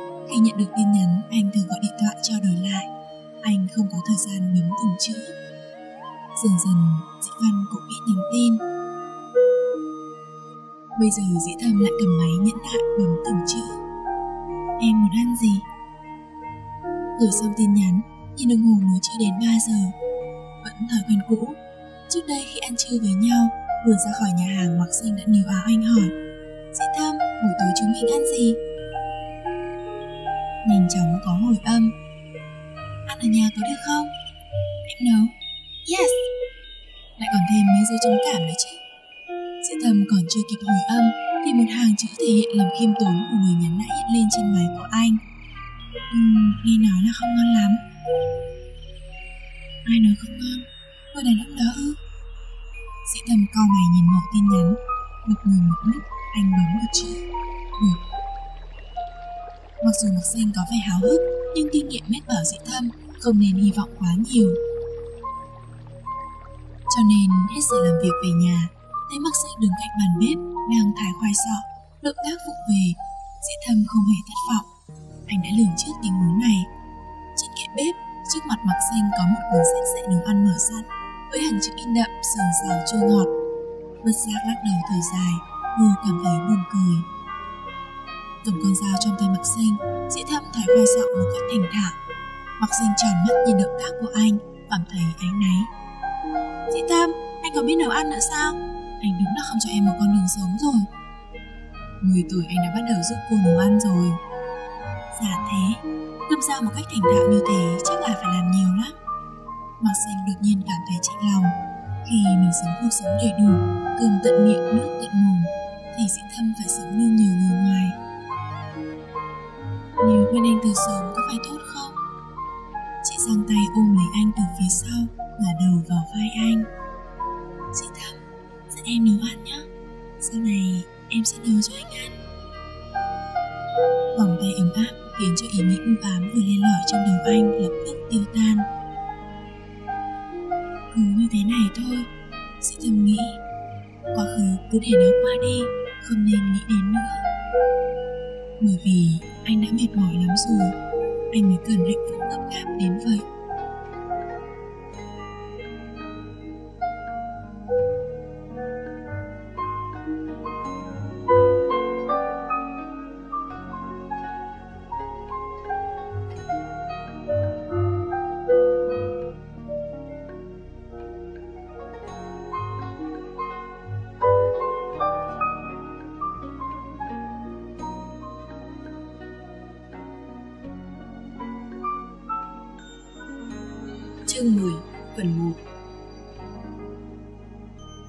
Luật sư Hà Dĩ Thâm sau tân hôn, công việc bận rộn hơn trước rất nhiều. Vụ án trước đây còn chưa xong đã tiếp nhận vụ mới, cùng lúc thụ lý mấy vụ liền, đêm nào anh cũng về rất muộn. Thường Mặc Xanh đã ngủ, phòng làm việc của anh vẫn sáng đèn. Mặc dù vậy, Mặc Xanh cảm thấy hết sức hạnh phúc. Dĩ Thâm bận việc của anh, chị cũng tự tìm việc làm. Chị lau chùi cái này, sắp xếp cái kia, thỉnh thoảng ngó vào phòng làm việc, thấy dĩ thâm vẫn cặm cụi bên đống tài liệu. Sống chung với nhau, Mạc Xanh mới thực sự cảm thấy sự vất vả cũng như tính nghiêm túc chuyên cần của dĩ thâm. Người ngoài nhìn anh có vẻ an nhàn, thành đạt khi còn rất trẻ, khiến người ta ngưỡng mộ nhưng không ai biết rằng đằng sau vầng hào quang đó, anh đã bỏ biết bao nhiêu tinh lực, công sức. Một người không có điều kiện gia đình hậu thuẫn, phân đấu được như hôm nay quả không đơn giản. Những lúc dĩ thâm khó khăn nhất, chị lại không ở bên anh. Khi dĩ thâm cầm cốc uống trà từ phòng làm việc đi ra, thấy mặc Xanh đang ngồi trên salon, hai tay bó gối, không biết chị đang nghĩ gì. Bây giờ đã hơn một giờ chiều ngày Chủ nhật, dễ thầm bận suốt buổi sáng trong phòng làm việc. Bữa trưa chị ăn qua loa, lại tiếp tục công việc. Mặc danh nhìn thấy anh, lập tức đứng bật dậy, chạy đến cầm cốc trong tay anh nói líu díu. Để em, rồi lại chạy biến vào bếp. Dĩ thầm nhìn bàn tay trống không của mình, đột nhiên cảm thấy thời gian đang quay trở lại. Dường như họ đã về thời xưa, lúc còn trong trường đại học, anh bận học, bận làm thêm, lại còn công tác đoàn thể trong hội sinh viên. Mặc danh xen vào khoảng trống giữa công việc các loại của anh, có vẻ mặc danh bám anh rất chặt. Thực ra anh không có nhiều thời gian dành cho cô ấy. Bây giờ tình trạng cũ hình như lặp lại. Dĩ thầm trở về phòng làm việc, nhìn lịch công việc. Hôm nay đúng là ngày 15 tháng 11, kỷ niệm thành lập trường. Văn phòng của anh có ủng hộ trường một số tiền. Thiêm đã đại diện tham gia lễ tiếp nhận quyên góp. Cậu ta nhắc Dĩ Thâm và Hướng Hằng nhất định phải đến trường dự lễ kỷ niệm. Dĩ Thâm vốn không phải người thích những nơi ồn ào, nhưng quả thật anh quá bận nên hơi do dự. Mặc Sình bê cốc trà từ nhà bếp đi ra, Dĩ Thâm kéo chị vào lòng. Chiều nay em có bận không? Làm gì? Chúng ta đi đâu? Mặc Sình nhanh nhỏ hỏi, mắt sáng lên. Ánh mắt chờ đợi của Mặc sinh khiến dĩ thâm không do dự nữa. Anh tắt máy tính. Hôm nay là ngày hội trường, em có muốn đến đó không? Hội trường vui như vậy, Mặc sinh đương nhiên là thích đi. Khi hai người đến trường, người và xe đã đông đúc đến mức không còn chỗ để vào. Họ đành gửi xe ở một chỗ rất xa và đi bộ vào. Ngậm đã! Đi gần đến trường, Mặc Sinh bỗng dừng lại, chỉ vào đống áo ở các quầy bên đường. Đó là những chiếc áo phông có in hàng chữ đại học dê to tướng trước ngực. Dĩ thâm, chúng mình cũng phải thay áo chứ. Dĩ thâm cau mày, cảm thấy cái áo đó rất kỳ quặc. Nhưng mặc dành đã khoác tay anh kéo đi, anh đành nhượng bộ. Em đi mua đi. Lúc đi vội vàng mặc danh quên không mang theo ví tiền, lấy ra mấy đồng trong ví dĩ thâm, chị chạy vụt đi. Lát sau từ đám đông chen ra, mặt mày hớn hở Hôm nay cả hai đều mặc áo len nên khá thoải mái. Mặc sinh choàng áo phông ra ngoài áo len, đuổi to phông, trông rất ngộ nghĩ. Quay lại nhìn dĩ thâm, cùng một kiểu áo như nhau, nhưng trên người dĩ thâm có vẻ trang nhã đặc biệt, khiến nhiều cô gái bất giác quay lại nhìn. Trước đây cũng như vậy, đi đến đâu dĩ thâm cũng thu hút ánh mắt của những người xung quanh. Những lúc đó mặc xanh kéo tay anh. Dĩ thâm, anh không thấy người ta đang nhìn anh sao? Dĩ thâm lườm chị, đi đường đừng có nhìn ngang nhìn ngửa Mặc danh bạm miệng, Hồi không hiểu có thể cho rằng hai người quá kiêu ngạo, cho mình là nhất, chẳng thèm nhìn ai. Đang theo dòng người đi vào cổng chính, sĩ Thâm nhận được điện thoại của Hướng Hằng. Cậu ở nhà hay ở văn phòng, đến đây mau lên, hôm nay đông lắm. tôi Mẫn bảo cậu nếu không đến ý, thì cô ta sẽ đến tận nơi lôi cậu đi đấy. Tô Mẫn là chủ tịch hội sinh viên hồi đó, học trước sĩ Thâm một khóa. Sau khi tốt nghiệp được giữ lại trường làm trợ giảng, Hồi đó do cũng làm công tác phụ trách, hai người thường hay làm việc với nhau. Tôi đang ở cửa Bắc, các cậu ở đâu? Đến rồi hả? Thế thì tốt, chúng tôi đang ở khu nhà mới, cậu đến đây đi. Dĩ thầm tắt máy nói với Mạc Xanh Em cùng anh đến khoa luật trước, sau đó sẽ đến khoa của em. Vì sao? Mạc Xanh cảnh giác. Anh ngại xảy ra chuyện trước mặt mọi người, bao nhiêu năm trôi qua, dĩ thầm phát hiện mình vẫn giữ thần sạng có điều kiện hoang đâu như vậy? Mạc Xanh nói phụng phịu. Trước đây Dĩ Thâm là nhân vật nổi nhất khoa luật Được gọi là hoàng tử của khoa. Bao nhiêu người biết anh Sự hợp tan của họ chắc nhiều người biết. Mạc Xanh không muốn đối diện với những ánh mắt tò mò. Vậy thì mình đến đây làm gì? Dĩ Thâm bất lực kéo tay Mạc Xanh đang định chạy đi. Em không mang tiền, không mang theo điện thoại. Lát nữa làm thế nào tìm được anh? Tối về nhà thì làm thế nào? Thấy mắc xanh ngây người, dĩ thâm biết ngay cô chưa nghĩ đến chuyện đó. Có lúc dĩ thâm cảm thấy mình đang sống chung với một đứa trẻ, anh thở dài. Còn chúng ta ấy, sau này tốt nhất là nên giống anh. Dùng rằng một lúc cuối cùng mặc danh chia tay lẩm bẩm. Cho em tiền. Dĩ thâm chỉ đưa điện thoại của anh cho mặc xanh. Lát nữa anh sẽ gọi cho em, đừng đi quá xa đấy. Nếu muốn tìm anh thì gọi cho hướng hàng. Em ngại gì kia chứ? Dị thầm giơ tay sửa lại mái tóc của mặc danh bị gió đánh rối tung. Sao anh không hiểu mặc danh nghĩ gì? Chỉ có điều chuyện đó chẳng quan trọng, Cứ để cô ấy làm theo ý mình. Hà luật sư, giờ đã nổi tiếng, Trông cũng ra vẻ lắm. Dĩ thâm vừa đến, đã bị Tô Mẫn khiêu khích. Dĩ thâm có hiểu tính khí của cô giáo này, Càng thanh minh cô ta càng châm trọng. Vì vậy dĩ thâm không phản bác. Tô Mẫn nói mấy câu thì đối tượng không nói gì lại đành thôi. Hướng Hằng nhìn thấy cái áo phông dĩ thâm mặc, bật cười. Cậu đổi khẩu vị từ lúc nào thế? Dĩ thâm cũng cười, cúi xuống nhìn áo phông trên người. Trước ngực có in bốn chữ màu đỏ cỡ lớn trường đại học C, cảm thấy hơi kỳ quặc, liền cởi ra cầm ở tay. Hướng Hằng lập tức hiểu ra. Ồ, oh, sao không thấy người nhà cậu? Ai biết chạy biến đi đâu. Dĩ thầm cũng thấy bất lực. Lúc đó nhiều người quen nhận ra nhau chào hỏi tiếu tít Tô Mẫn nhân cơ hội này kéo Viêm ra một chỗ hỏi Này, dễ thâm có bạn gái chưa? Viêm vừa đưa tay sờ cầm mình, trả lời giọng rất khoát Chưa Vợ không phải là bạn gái, về điểm này anh ta phân định rất sạch sỏi Sao? Vẫn như cũ à? Dị thâm vẫn muốn chờ người ta ư? Tô Mẫn hiểu không rõ chuyện trước đây của dị thâm Nhưng đột nhiên nghĩ ra điều gì đó, mắt sáng lên Ôi, không có cũng tốt Khoa mình có một cô giáo trẻ mới về, rất xinh, điều kiện gia đình lý tưởng. học vấn cao, giả thế tuyệt vời. Để tôi, tôi gọi đến giới thiệu hai người với nhau, nhưng cậu đừng nói gì vội đấy nhá. Viêm đương nhiên là không nói. Dĩ thâm vốn định đến một lúc rồi về, ai ngờ không thể nào thoát ra được. Đầu tiên là cùng mọi người đến chào các giáo sư cũ, sau đó là cuộc giao lưu thân mật giữa các học sinh các khóa. Ra khỏi hội trường đã hơn 5 giờ chiều, Viêm hô to. Đã đặt tiệc ở khách sạn Tân Giang, mời tất cả mọi người cùng vui. Tân Giang là khách sạn năm sao duy nhất ở khu vực đó. Xem ra ông bạn Viêm này chi hơi mạnh tay. Dĩ thầm mượn điện thoại hướng hàng gọi cho Mặc Xanh. Thực ra Mặc Xanh không có kế hoạch chụp ảnh, lúc đi chỉ mang theo máy ảnh như một thói quen. Dĩ thâm đến khoa luật của anh ấy, mình cũng đến khoa của mình. Ngày đó điểm thi của Mặc Xanh chỉ vừa đủ điểm đỗ, nên phân công vào khoa hóa là khoa chẳng có tiền đồ gì theo quan niệm của sinh viên hồi đó. Chẳng may môn hóa lại là môn mặc danh ngắn nhất, chỉ qua được các kỳ thi đều là do công của dĩ thâm. Mặc danh chỉ học ở khoa hóa hơn một năm, thời gian tự học chủ yếu lại ở khoa luật, cho nên không có nhiều người quen. Quả nhiên đi quanh một vòng rồi mà chị vẫn không thấy người quen cũ nào.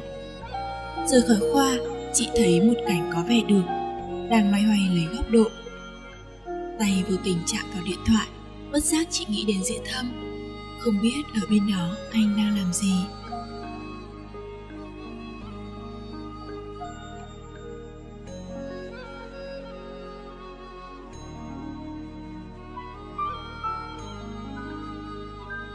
Chương 10, phần 2 Những ngày gần đây Mạc Sinh cảm thấy rất dễ chịu và dị thâm đột nhiên khá hẳn lên, nhất là sau khi chị đi Hồng Kông trở về. Cuộc sống như hiện nay dù mặc xanh rất hài lòng, nhưng đôi khi chị vẫn cảm thấy bất an. Chị không hiểu lắm suy nghĩ của dĩ thâm. Thực ra xưa nay vẫn vậy, suy nghĩ của dĩ thâm không dễ nắm bắt. Liệu có ngày nào tất cả sẽ thay đổi? Mặc xanh không muốn nghĩ tiếp, chị dùng mũi giày đá viên sỏi trên đường, tự nhủ. Đã không nghĩ ra thì tốt nhất nên nghĩ đơn giản đi vậy. Hội trường hôm nay đông vui chưa từng có, đâu đâu cũng đông nghẹt học sinh các thế hệ. Có những cô cậu sinh viên trẻ măng vừa mới ra trường, có cả những người tóc đã bạc, bao nhiêu thế hệ học sinh đã trưởng thành từ ngôi trường này. Đang đi, chị bị một chàng trai trang trọng trong bộ com lê chỉnh tề ngăn lại hỏi. Này bạn ơi, bạn có biết ưng quân đang diễn thuyết ở đâu không?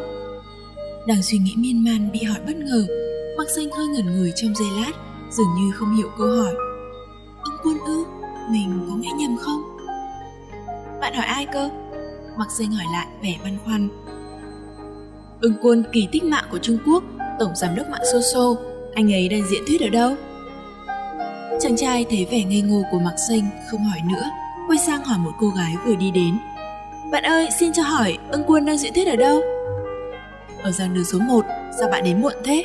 Buổi diễn thuyết từ 2 rưỡi đến 4 rưỡi, bây giờ bắt đầu đã khá lâu rồi, chắc chắn là không còn chỗ đâu. Nói vậy nhưng cô ta vẫn chỉ đường. Chàng trai cảm ơn, dạo bước về phía giảng đường số 1. Mặc sinh đứng nguyên chỗ cũ, và một lát sau chị mới giải mã được thông tin này. Ân quân, anh ấy đã về nước, bây giờ lại đang có mặt tại trường này. Giảng đường có sức chứa cả nghìn người đã chật như nêm, các cửa ra vào đều bị bít chặt. May nhà trường tính tới tình huống đó, cho nên đặt một màn hình lớn bên ngoài để cho những người không vào được hội trường có thể trực tiếp theo dõi buổi nói chuyện của nhân vật nổi tiếng. Mặc danh chen vào đám đông, ngửa cổ nhìn người đàn ông trên màn hình. Đúng là anh ấy. Tự tin, đĩnh đạc, vầng trán rộng thông minh, cặp lông mày cương nghị, những đường nét trên khuôn mặt hơi thiếu sự mềm mại, đôi mắt điềm tĩnh với cái nhìn sắc lạnh đánh dấu một cuộc đời không xuân sẻ. Nếu không cười, dễ khiến người khác e ngại khó tiếp cận. Đó chính là ưng quân. Gương mặt mới trong làng mạng thế giới tay trắng lập nghiệp từ thung lũng Silicon, triệu phú mới nổi. Chồng trước của chị trên danh nghĩa, có lẽ cũng là trên thực tế. Chuyên đề ưng quân diễn thuyết rất bình thường, đó là sự phát triển và những dự đoán về chuyên ngành IT ở Trung Quốc. Nhưng do góc nhìn độc đáo, phân tích có sức thuyết phục, nhất là quá trình lập nghiệp và thành công của bản thân anh, khiến cho diễn giải của anh trở nên khác thường. Do vốn xuất thân từ khoa học tự nhiên, ưng quân hết sức chú ý đến căn cứ thực tiễn. Trong bài nói của anh, tương lai của IT không phải là quá xa vời, mà những dự đoán logic dựa trên cơ sở khả thi đầy sức thuyết phục. Bản thân quá trình phấn đấu vươn lên và những gì anh đạt được ở thung lũng Silicon trung tâm khoa học kỹ thuật cạnh tranh gay gắt nhất thế giới, khiến người nghe rất cảm kích. Riêng vẻ đẹp của anh tạo nên ấn tượng đặc biệt đối với thính giả. Ít nhất là đối với đám nữ sinh bên ngoài hội trường nơi mặc xanh đứng. Họ bàn tán sôi nổi về tài năng và sức hấp dẫn của diễn giả. Này, ai bảo anh ấy già? Chắc chắn là khoảng 35-36 thôi. Đang ở thời kỳ phong độ nhất đấy. Ồ, giá mà mình có một ông chồng như thế nhỉ?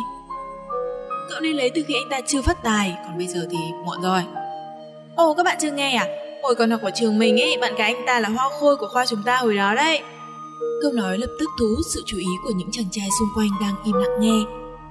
Các bạn ở khoa nào? Một chàng trai hỏi, khoa ngoại ngữ. Vậy bây giờ thì sao? Họ còn chung sống với nhau không? Một cô gái hiếu kỳ quá không kiềm được vội hỏi. Mình cũng nghe vậy thôi, chứ chắc đó là sự thật. Cô gái lại tiếp. Nghe nói hồi học đại học, ưng quân nhà rất nghèo, nhưng anh ấy học rất giỏi. Về sau, theo đuổi hoa khôi của chúng ta, nghe nói tình cảm rất tốt. Đáng tiếc là khi tốt nghiệp, cô hoa khôi muốn được ở lại trường đã lấy con trai của ông trưởng khoa. Anh ấy buồn quá bỏ công việc ở viện nghiên cứu đi ra nước ngoài. À, hóa ra là con dâu của trưởng khoa, có phải chính là cô giáo dạy môn văn sử học ở khoa chúng ta không? Nghe nói cô ấy đã ly hôn rồi cơ mà. Trời ơi, thật thế ư? Không biết cô ấy có hối hận không? Ai biết được. Cô gái nhún vai. Chuyện này tôi nghe một trợ giáo kể, có vẻ đáng tin lắm. Tiếng bàn tán vẫn sôi nổi. Quá khứ và đời tư của những người nổi tiếng luôn là đề tài hấp dẫn mọi người. Mặc danh mím môi, ngước nhìn người đàn ông lịch lãm trên màn hình vô tuyến. Ưng quân rất ít khi nói với chị những chuyện quá khứ. Có lẽ hồi đó chị mới 22-23 tuổi. Trong con mắt của người đàn ông đã qua tuổi nhi lập, chị vẫn còn là một cô bé. Chỉ có một lần, ưng quân buộc miệng nói Trước đây, ở trường của anh có một cô bạn gái rất thông minh, rất đẹp. Anh chỉ nói có vậy, giọng đầy nuối tiếc. Lúc đó Mạc Sinh không hiểu nguyên do, chị lập tức trả miếng. Bạn trai của em cũng rất tuyệt vời. Thế ư? Hưng quân cười. Vậy bạn trai của em không may mắn bằng anh rồi. Đến bây giờ, Mạc Sinh vẫn nhớ rõ ánh mắt của ưng quân lúc đó, ngô thuẫn và kiêu ngạo đan xen nơi đáy mắt, thường ngày vốn điềm tĩnh của anh. Những năm đó không thấy người phụ nữ nào bên cạnh anh Có lẽ anh ấy cũng như mình Không thể nào quên được quá khứ Lúc đó Mạc Xanh đã nghĩ như vậy Chẳng mấy chốc buổi diễn thuyết sắp đến lúc kết thúc. Người chủ trì đứng lên nói. Nếu buổi nói chuyện kết thúc ở đây Mọi người có gì nuối tiếc Có gì chưa thỏa mãn? Nhiều tiếng ồn ào. Có, có. Cho nên sau đây sẽ là đối thoại tự do. Thời gian là nửa tiếng đồng hồ. Hãy tranh thủ thời gian. Xin mời. Không khí trong hội trường sôi nổi hẳn lên, có vài sinh viên đứng lên đặt câu hỏi cho diễn giả. Hỏi đáp tự do, thể hiện năng lực tư duy và khả năng phản ứng của diễn giả. Về mặt này, rõ ràng ưng quân tỏ ra rất xuất sắc. Những câu trả lời thông minh, hài hước khiến khán giả vỗ tay nhiệt liệt. Buổi diễn giảng hôm nay, về mặt nào ưng quân cũng xứng danh niềm tự hào của trường. Trời ơi, sao mấy câu hỏi vô duyên thế? Mấy câu hỏi liên tiếp đều thuộc lĩnh vực chuyên môn, bắt đầu khiến các khán giả nữ phát ngán, họ chẳng có hứng thú nào với cái máy tính. Vậy là phần nhiều câu hỏi rơi vào tay các nữ sinh. Một nữ sinh viên đứng lên hắng giọng. Thưa ông ưng quân, tôi phải nói trước là câu hỏi này không phải của tôi, mà là của một bạn gái đứng bên ngoài chuyển đến cho tôi. Tôi bảo nếu tôi giúp được cô ta, cô ta sẽ mời tôi đi ăn tối, cho nên để tôi được ăn tối bữa miễn phí, rất mong ông vui lòng trả lời. Đương nhiên, Bằng một cử chỉ tao nhã, ưng quân giơ tay giả hiệu. Xin mời cô. Câu hỏi thế này ạ. Cô gái dừng lại, nhìn quanh, đợi hội trưởng im lặng, nói to. Xin hỏi, ông đã kết hôn chưa? Chúng tôi có còn cơ hội hay không? Cả hội trường ao lên như vỡ chợ, tiếng huýt sáo của các chàng trai nổi lên từ phía sau, cổ vũ sự mạnh dạn của các bạn nữ. Tuy nhiên, trong bầu không khí vui vẻ có phần thoải mái với một câu hỏi hoàn toàn mang tính chất hài hước như vậy, lại khiến người đàn ông trở nên lúng túng. Thái độ vẫn bình thản, nhưng hình như suy nghĩ đã rời khỏi anh. Lang thang đến một thế giới khác. Trong một thoáng, ưng quân dường như quên hẳn công chúng phía dưới. Qua màn hình, thậm chí có thể nhìn thấy ánh mắt ảm đạm, không thể che giấu của anh. Hội trường dần dần im ắng trở lại. Biểu hiện bất thường của diễn giả không khỏi khiến mọi người e ngại, bởi lẽ ai cũng nghĩ nghe được một câu trả lời hài hước thú vị Cô gái vừa nêu câu hỏi bắt đầu cảm thấy lo lắng. Người chủ trì cảm thấy câu hỏi đụng chạm đến lĩnh vực quá riêng tư của diễn giả sẽ khiến diễn giả khó xử, vội đứng lên nói chữa. Các bạn không nên đưa ra câu hỏi quá ư nhạy cảm. Câu nói không nhận được sự ủng hộ của mọi người. Có ai đó cười nhạt. Rõ ràng mọi người hy vọng thái độ khác của người chủ trì. Người trợ lý đứng bên cạnh nói gì đó với ưng quân. Anh giơ tay ra hiệu cho người chủ trì. Không sao, tôi chỉ đột nhiên nghĩ đến người vợ của tôi. Đã khá lâu rồi tôi không gặp cô ấy. Tiếng bàn tán bên dưới lại nổi lên. Ưng quân hiểu anh nói rành giọt. Đương nhiên tôi đã kết hôn, dù sao cũng cảm ơn sự quan tâm của các bạn.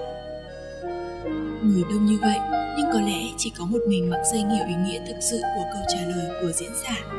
Đã kết hôn. Mặc danh cũng nói với diễn thâm như vậy. Đã kết hôn, nhưng chỉ trên danh nghĩa.